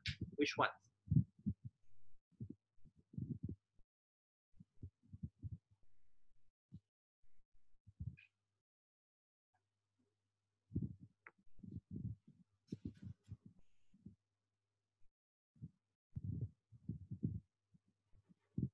You notice this, right? These are all positive, right?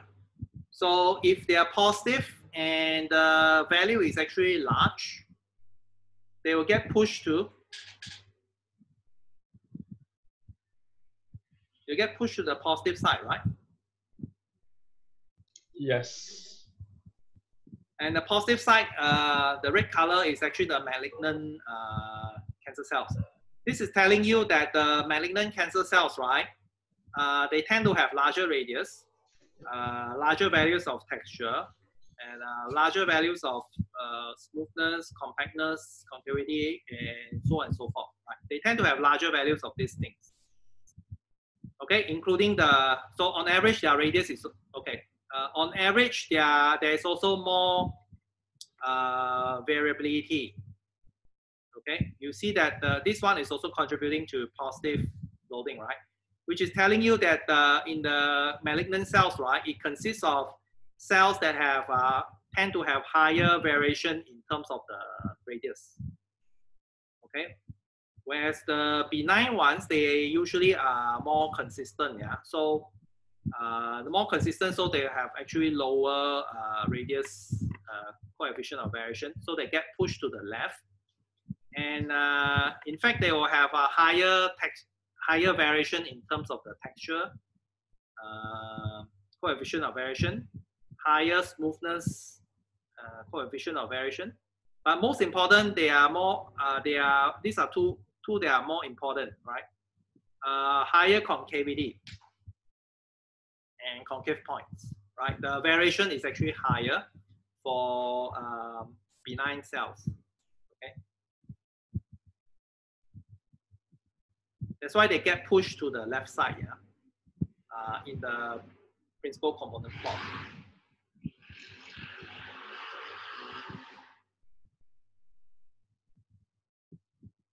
Okay, so so so do you get some idea now how to interpret the first principal component?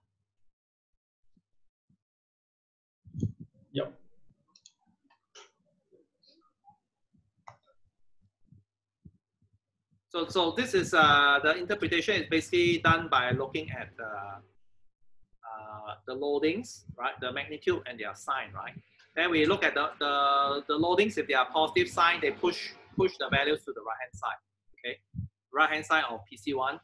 Those that are negative, loadings are negative. So large values of for that they push to the left hand side.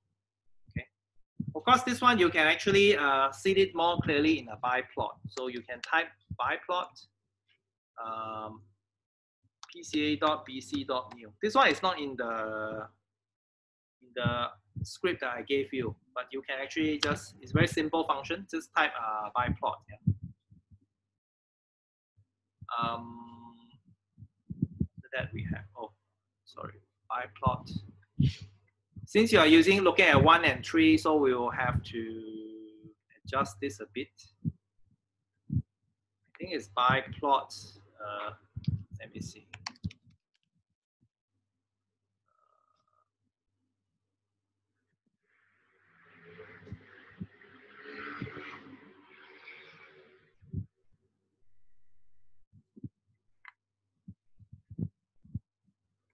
Something like this, uh, biplot one, three. Okay, um, then I share the screen.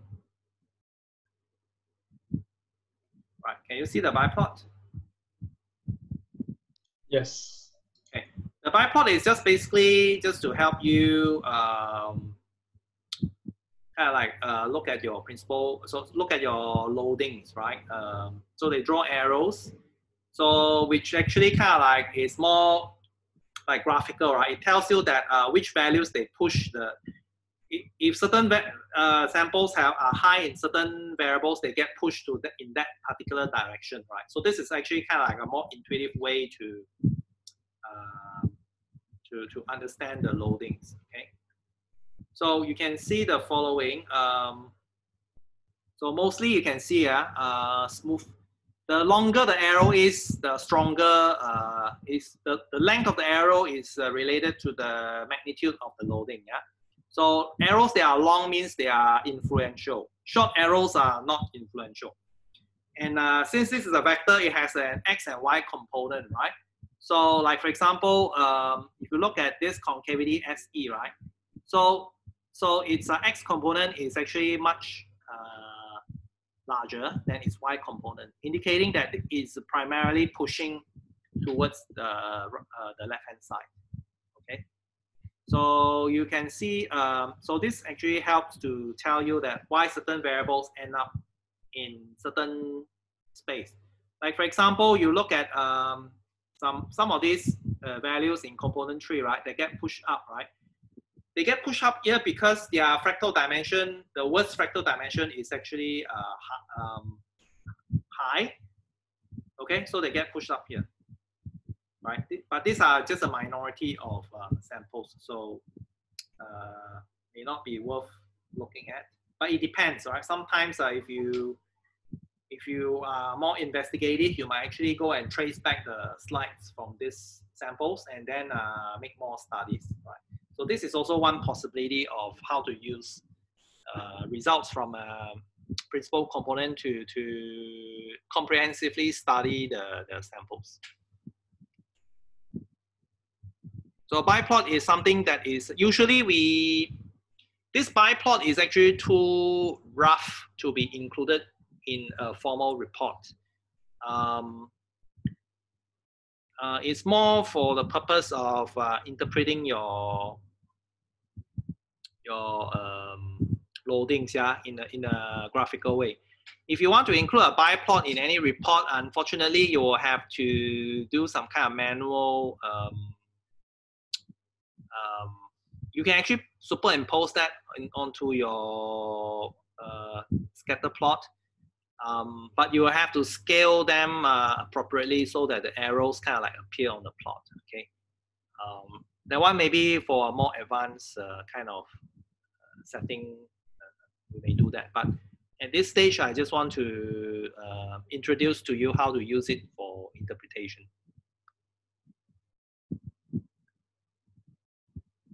Okay, so let's go back to the uh, um, console. Okay, can you see my console? Yes. So, uh, all right, fine. So now we want to, having seen all these things, right, we would actually like to uh, check the data, right, to see whether um, uh, what we feel, what, what we find from the loadings is generally corresponds to the ground truth. So we can actually make uh, box plots, right, to see the distribution of these variables that have uh, loadings that are uh, high in magnitude, right? And uh, in a different direction. So um, I have a, so I make a series of box plots. There are actually six box plots that I make. So I pick certain, um, I already picked certain uh, particular variables so that um, you can actually pick some other variables, okay, no problem. But I just pick those that, that where the effect is most pronounced, yeah? And then uh, I just pick six. Right. You can pick any that you want. So I run this. Um, okay, and uh, basically then I can uh, look at the result.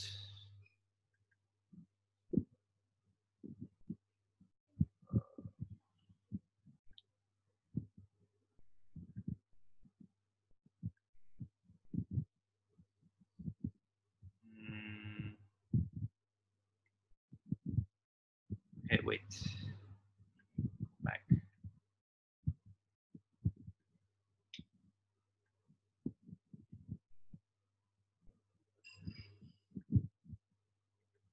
I want to first do the box plots. Okay, so I think I overdid it. Uh, let me just go back and do the box plots.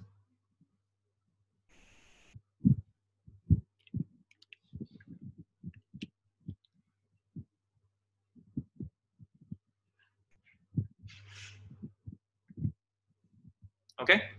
Um, can you see my box plots? Yes.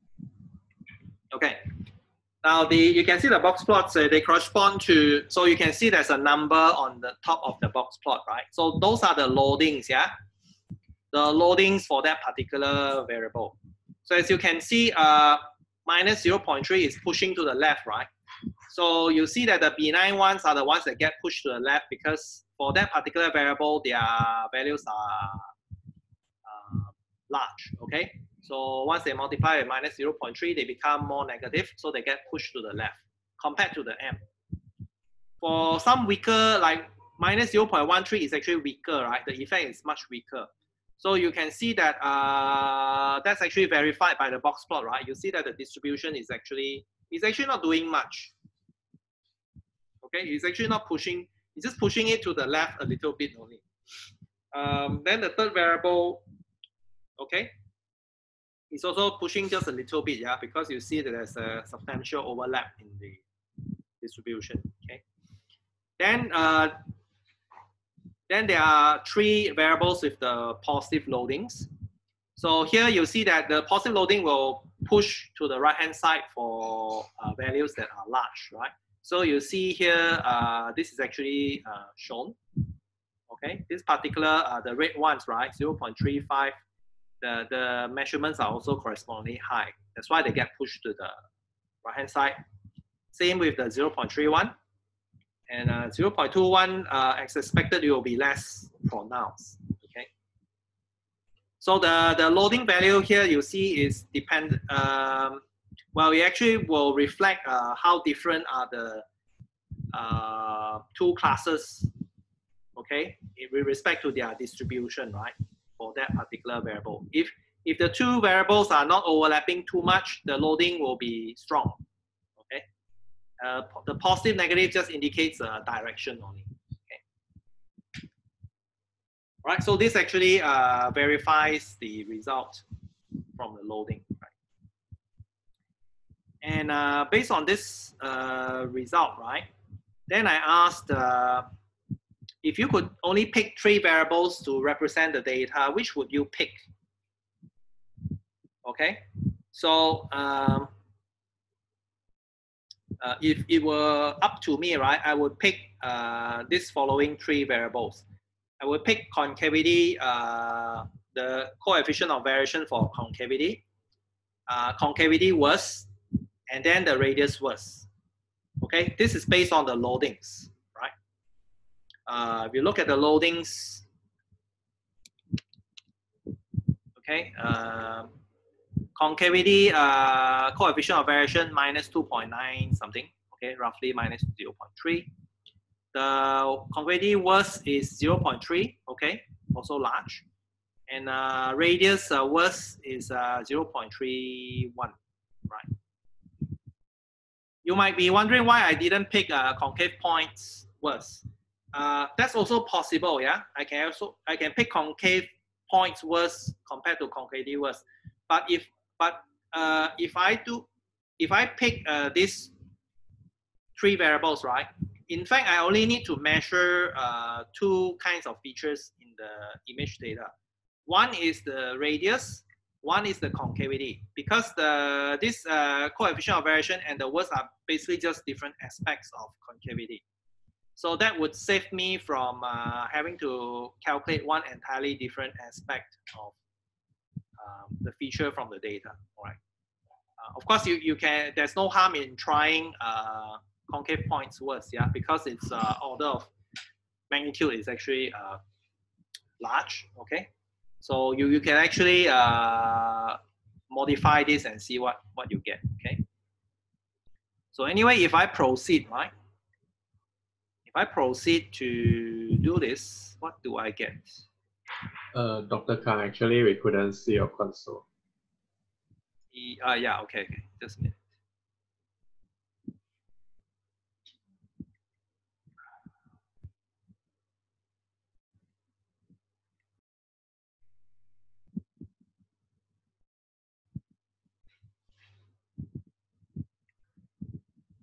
Okay, can you see now? Can you see the console? Yes. Can you see the console, yeah? Okay.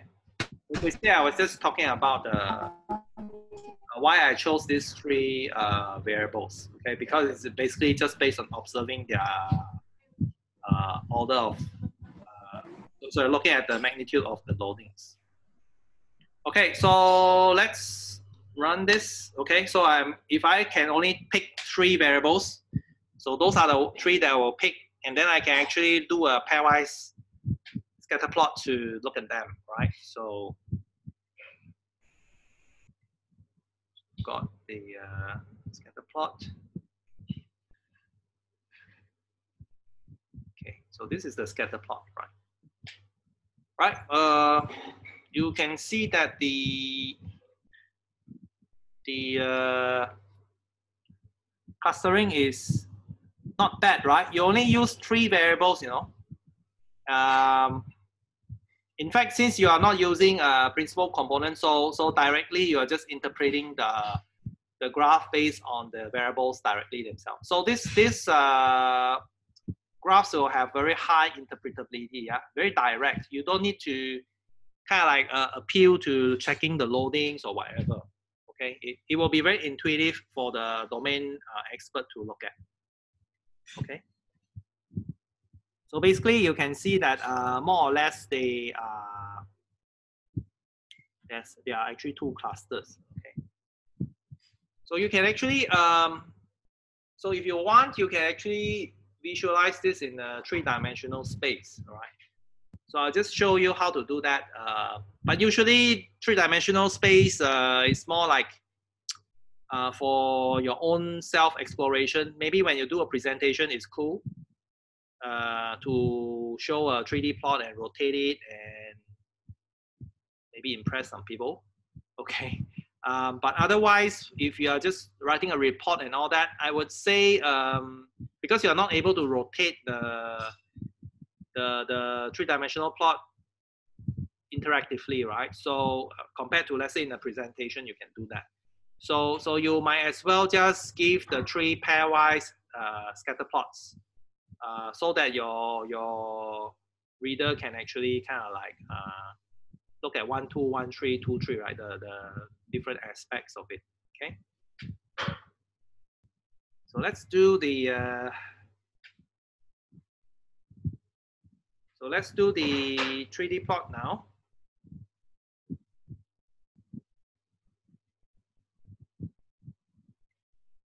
Uh, console. So you have to run the library uh, called RGL, yeah? Um, so you have to install that first. So I presume that you have installed it and uh, Oh, I haven't installed it, so I have to do that. RGL.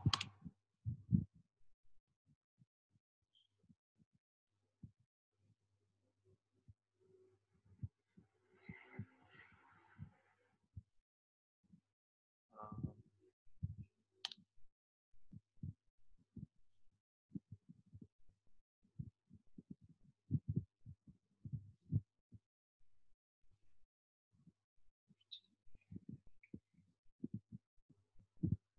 Let's the Malaysian one.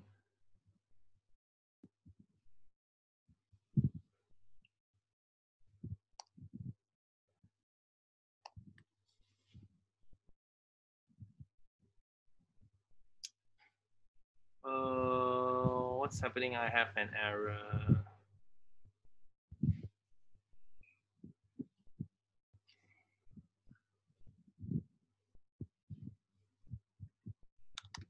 Let's, let's try whether it has.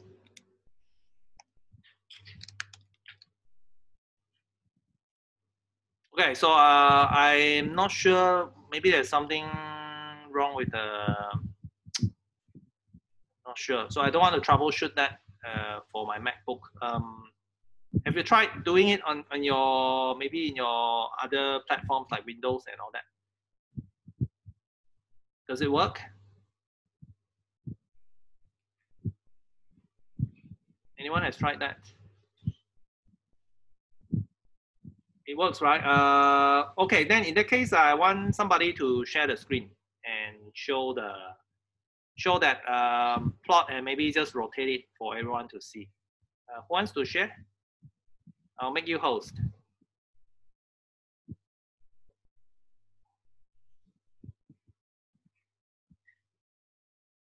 Anyone who actually has the that thing running in your R console now?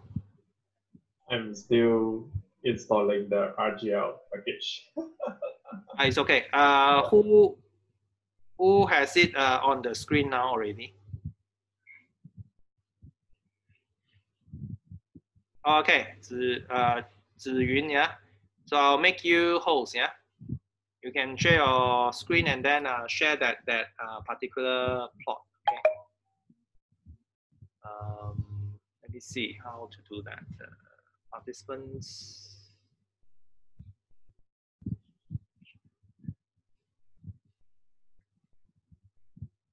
Make host. Okay.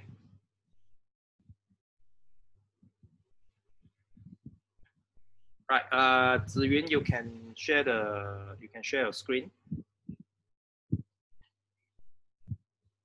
Yeah, right. Okay. So you can see that, yeah. You can actually make the uh, points actually larger by changing the radius, right? So that you can change it yourself, right? Okay. So my color that I put in is actually a transparent color. So it, it actually, um, so when, at parts where there are overlaps, you can see that the color is actually darker. So you can see that there's actually uh, more or less um, compact. Maybe you can try to increase the radius to something larger, maybe two or three times larger and see what happens.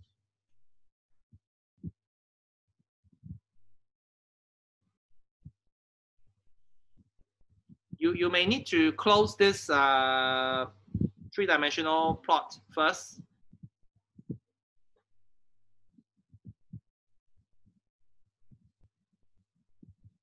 Yeah, right. Okay, right. Um, is it larger, the points?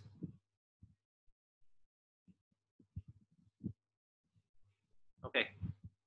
Well, anyway, you, you, you can adjust it, right? You can, uh, the radius, you can set it to some larger value and see, see that the, the points will actually get larger, right?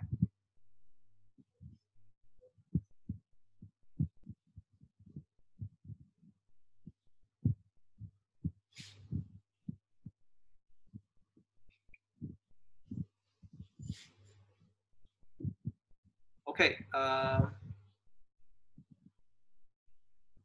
okay. Thanks, uh, Ziyun. Yeah. Oh, Ziyun. Okay, doing that.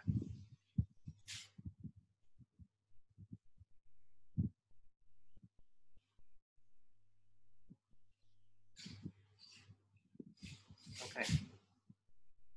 Uh, doctor, I have changed the radius up to 50, but it turns out to be something like this. Okay. Um, can I? You can. Can you try something? The type Uh-huh. goes to P, right? You change it to S, and then you make your radius uh, maybe smaller. Um, that should give you uh, actually plot, plotting it as a sphere rather than as a point. Um, can you try that?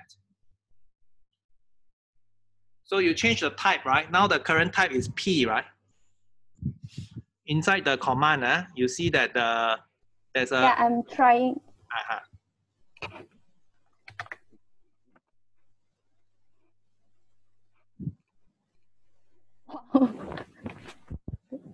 太大个。 If it's very big, uh, you tune your radius to some smaller value. Um, Yeah. I'm, I'm afraid you might have to close your, every time you redo this, right, you have to close the, the existing uh, device. Otherwise, uh, it when it kind of like overplots it, it will sometimes give you some kind of messy uh, results.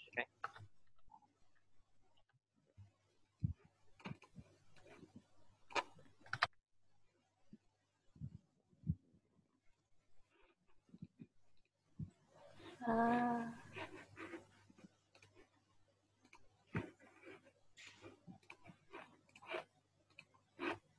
Ah, yeah, right. So that's pretty good. okay. Can you try rotating? No, uh, I think it hang. Uh, okay. Uh, yeah, because it's quite kind of like memory intensive. So Yeah. Yeah, but um, they already hang. Yeah. That, that that is the same thing that happened to me as well. So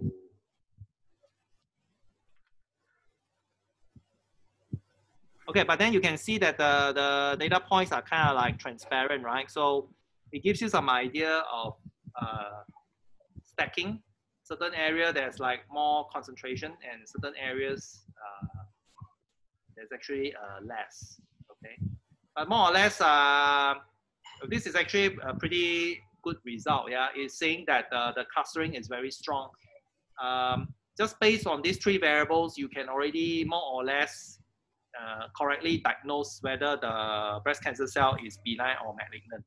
That's why the uh, you can rotate it now, is it? Um, it take takes time. Takes time. Yeah. I think that might be. I, it is not supposed to be like that. Um, I have an old code where I, when I use it, it's very easy to rotate. You, you won't hang like this. I need to uh, find that code again. It's hidden somewhere. The current Um, argument maybe that I use, it's my laptop issue because it sometimes hang like this. It's not supposed to hang like this.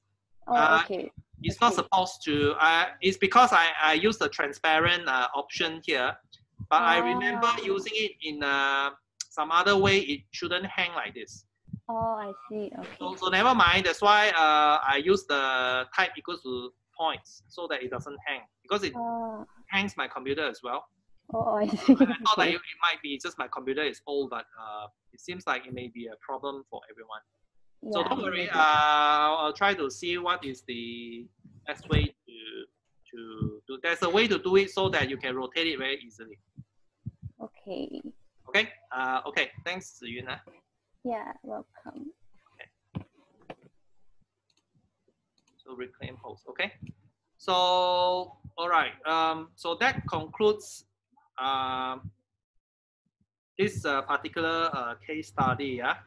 So we we have actually shown how to uh, approach um, how to approach the problem of um, how to even start right? When when you're given a data like this how do you even start looking at it?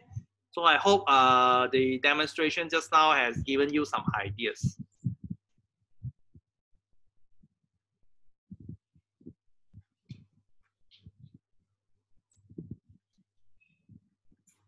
so what do you think about this uh, for those who are new to um principal component?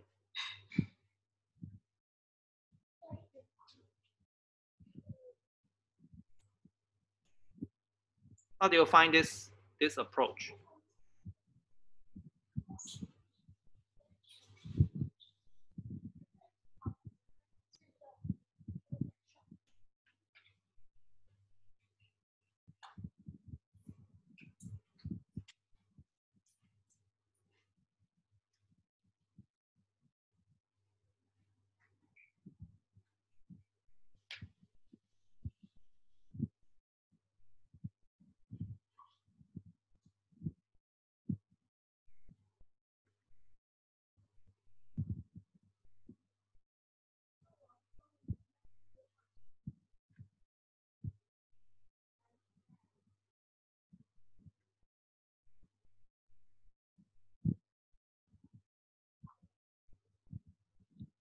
many clustering methods that can give same result. Uh, yeah, well, there, there are different clustering methods, right? Um, so principal component is one of them. Well, actually, principal component is not exactly a clustering result. It is a dimensional reduction result, which uh, after because you you already reduce the the data dimension, right? So it allows you to visualize the, the data space in low dimension. And if you can see that in the low dimension, there are some clusters, right, that can form there. Uh, then if you apply a formal clustering method on the data, it is going definitely going to work very well. So I guess uh, it is like uh, doing some kind of advanced, it allows you to do some kind of advanced checking whether ap- applying a, a formal clustering me- method such as uh, hierarchical clustering will actually produce anything meaningful from your data.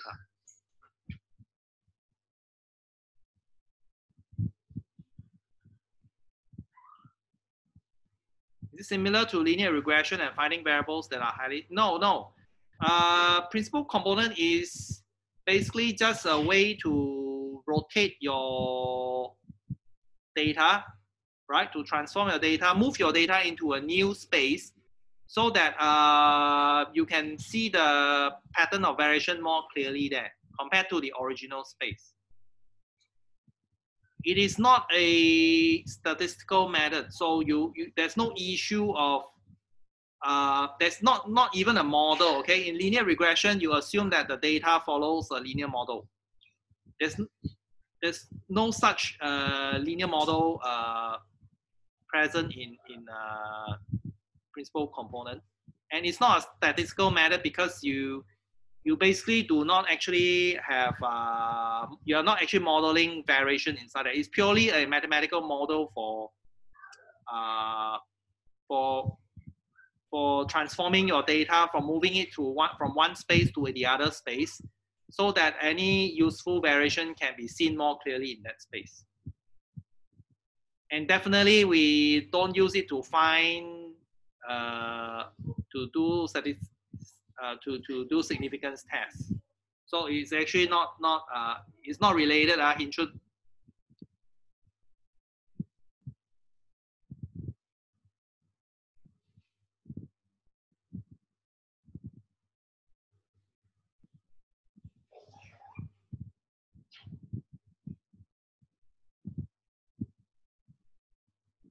So it's more like at the stage where it it using principal component can give you a more uh, solid feel about your data. Yeah. Um, compared to if you just look at it, you don't do any uh, kind of dimensional reduction, the data can be very overwhelming. Okay, it's very hard to describe your data to someone. Uh, with principal component, uh, at least you once you have looked at the pre preliminary results, you can actually you have a good mental picture of how your data actually uh, looks like and what are the variables that actually influence uh, its uh, its uh, important structures, right? Before you go into any formal kind of uh, analysis. So that, that is something that is very useful in my opinion.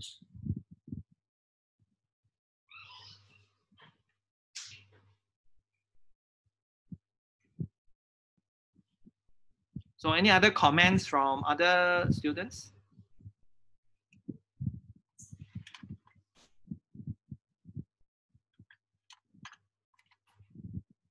it's more like an exploratory method. Yeah, you're right.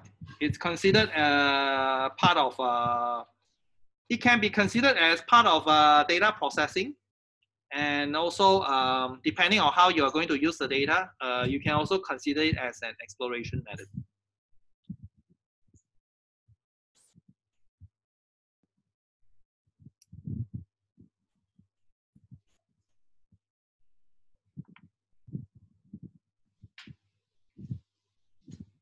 All right, okay, so we are just uh, over time slightly, okay? So I think uh, that will be the all we want to talk about for this week, yeah, the, the case study, okay? So um, we will be having soon a, uh, let me see, announcements.